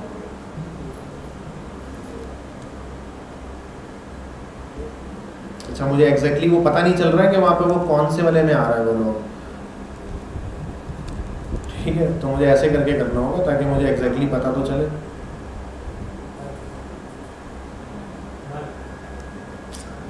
अच्छा।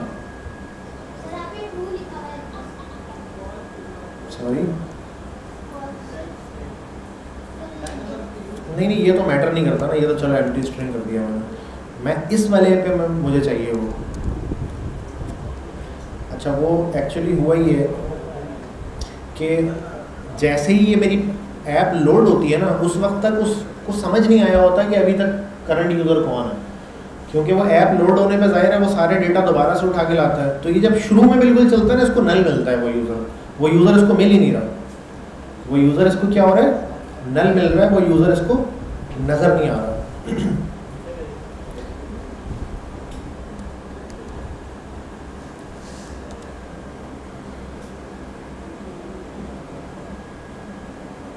तो इसका क्या किया जाए? कैसे इसको सेट करें? अरे, मुझे और चेंज में भी तो नाम मिलता है। तो वेल मैं काम करता हूँ, मैं और चेंज के देन के ऊपर ये काम करवा लेता हूँ। ठीक है? और चेंज का जो मेरा देन है ना, उस पर मैं ये काम करवा लेता हूँ। क्योंकि जब तक तो वो उसको समझ आ चुका होगा कि यूज़र है या नहीं है तो मैं यहाँ पे लॉगिन वॉगिन ट्रू करने के बाद ना फिर यहाँ पे कर लेता हूँ। अब तक तो उसको पता चल चुका होगा। तो देखते हैं यहाँ पे पहले सेट वाले को सेट वो कर देते हैं। ये ना ये मुझे ऑथ डॉट करंट यूज़र यहाँ पे मिल गया। ऑथ डॉट करंट यूज़र में मुझे क्या चाहिए? Dot display name dot display name में मुझे वो पूरा का पूरा नाम मिल रहा है। डॉट डिस्प्ले नेम और यहाँ पे भी डॉट डिस्प्ले नेम करके मैंने क्या कर दिया इसको? इसको मैंने फुल नेम पे रखवा दिया। मुझे यहाँ पे नाम डिस्प्ले होना शुरू हो गया। अब जब मैं इसको रिफ्रेश करता हूँ तो नाम ऑटोमेटिक आ रहा है। हाँ भाई, सवाल बोलो बोलो बोलो। इसके लिए मेरा ख्याल है, अलग से नहीं बनाते हम जो बबल बना हुआ है ना, अलग से नहीं बनाते हैं इसके लिए, उसी बबल में उसको डिस्प्ले करवा देते हैं। सही है? मैंने कहा, पहले भाई आया नाम लिखा हुआ है इधर, और फिर उसके बाद आया बटन बना हुआ ठीक है, ताकि एक फील आए कि हाँ यार, ये बंदा लॉग इन है और यही होने लगा है लॉग आउट हाँ भाई, कोई क्वेश्चन किसी का सवाल आप? बोलो। कोर्ट में आ गया ये। लोग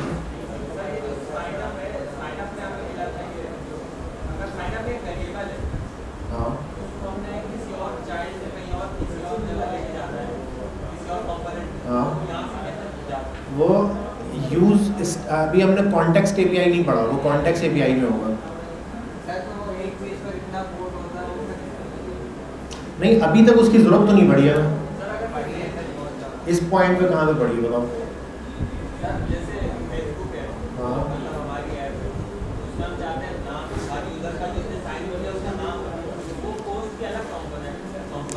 इसमें जहाँ पे भी आप ऑथ डॉट करंट यूज़र करोगे ना, नाम मिल जाएगा।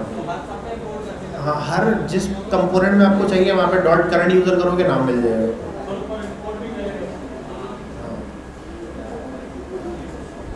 सही है।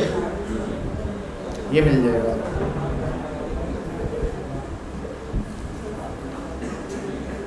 और कोई क्वेश्चन किसी और का कोई क्वेश्चन है? हाँ। बोलो। क्या मतलब समझा नहीं मैंने। हाँ वो तो फॉर्म है ना यार। ये तो मैंने जस्ट फॉर्म बनाया है ना। ये फॉर्म से डेटा उठाया है ना मैंने। ये फॉर्म से डेटा उठा के मैंने इधर ईमेल और पासवर्ड यहाँ रखा है। यही किया ना मैंने।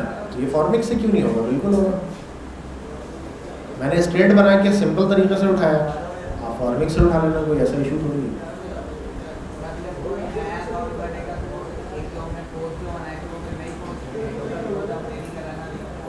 क्या मतलब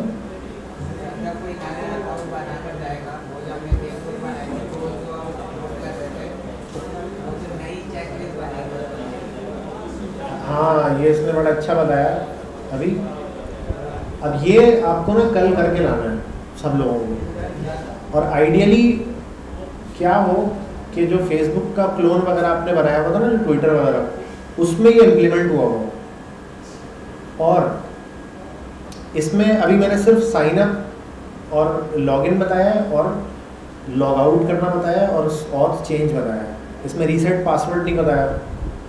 ठीक है? अगर बंदे ने ईमेल वेरीफाई नहीं किया तो ऊपर एक पट्टी आ रही हो, हर वक्त आ रही हो, हर वक्त कॉन्स्टेंटली कि वेरीफाई योर ईमेल और रीसेंट का बटन भी आ रहा हो उस पर। ठीक है? अगर मैं पासवर्ड भूल जाऊँ तो फॉरगेट पासवर्ड मैंने नहीं बताया। वो सब आपको करके लाना है नेक्स्ट क्लास में। ठीक है? फिर हम करेंगे गिटहब सही है? भाई गिटहब अभी ज़रूरी है। सोशल लॉगिन कोई एक हमें करना है। और फेसबुक करके दिखाऊँगा मैं फेसबुक इजी है थोड़ा। गेटअप भी इजी है लेकिन फेसबुक सबसे इजी है। जो सबसे इजी है वो मैं करके दिखा दूँगा।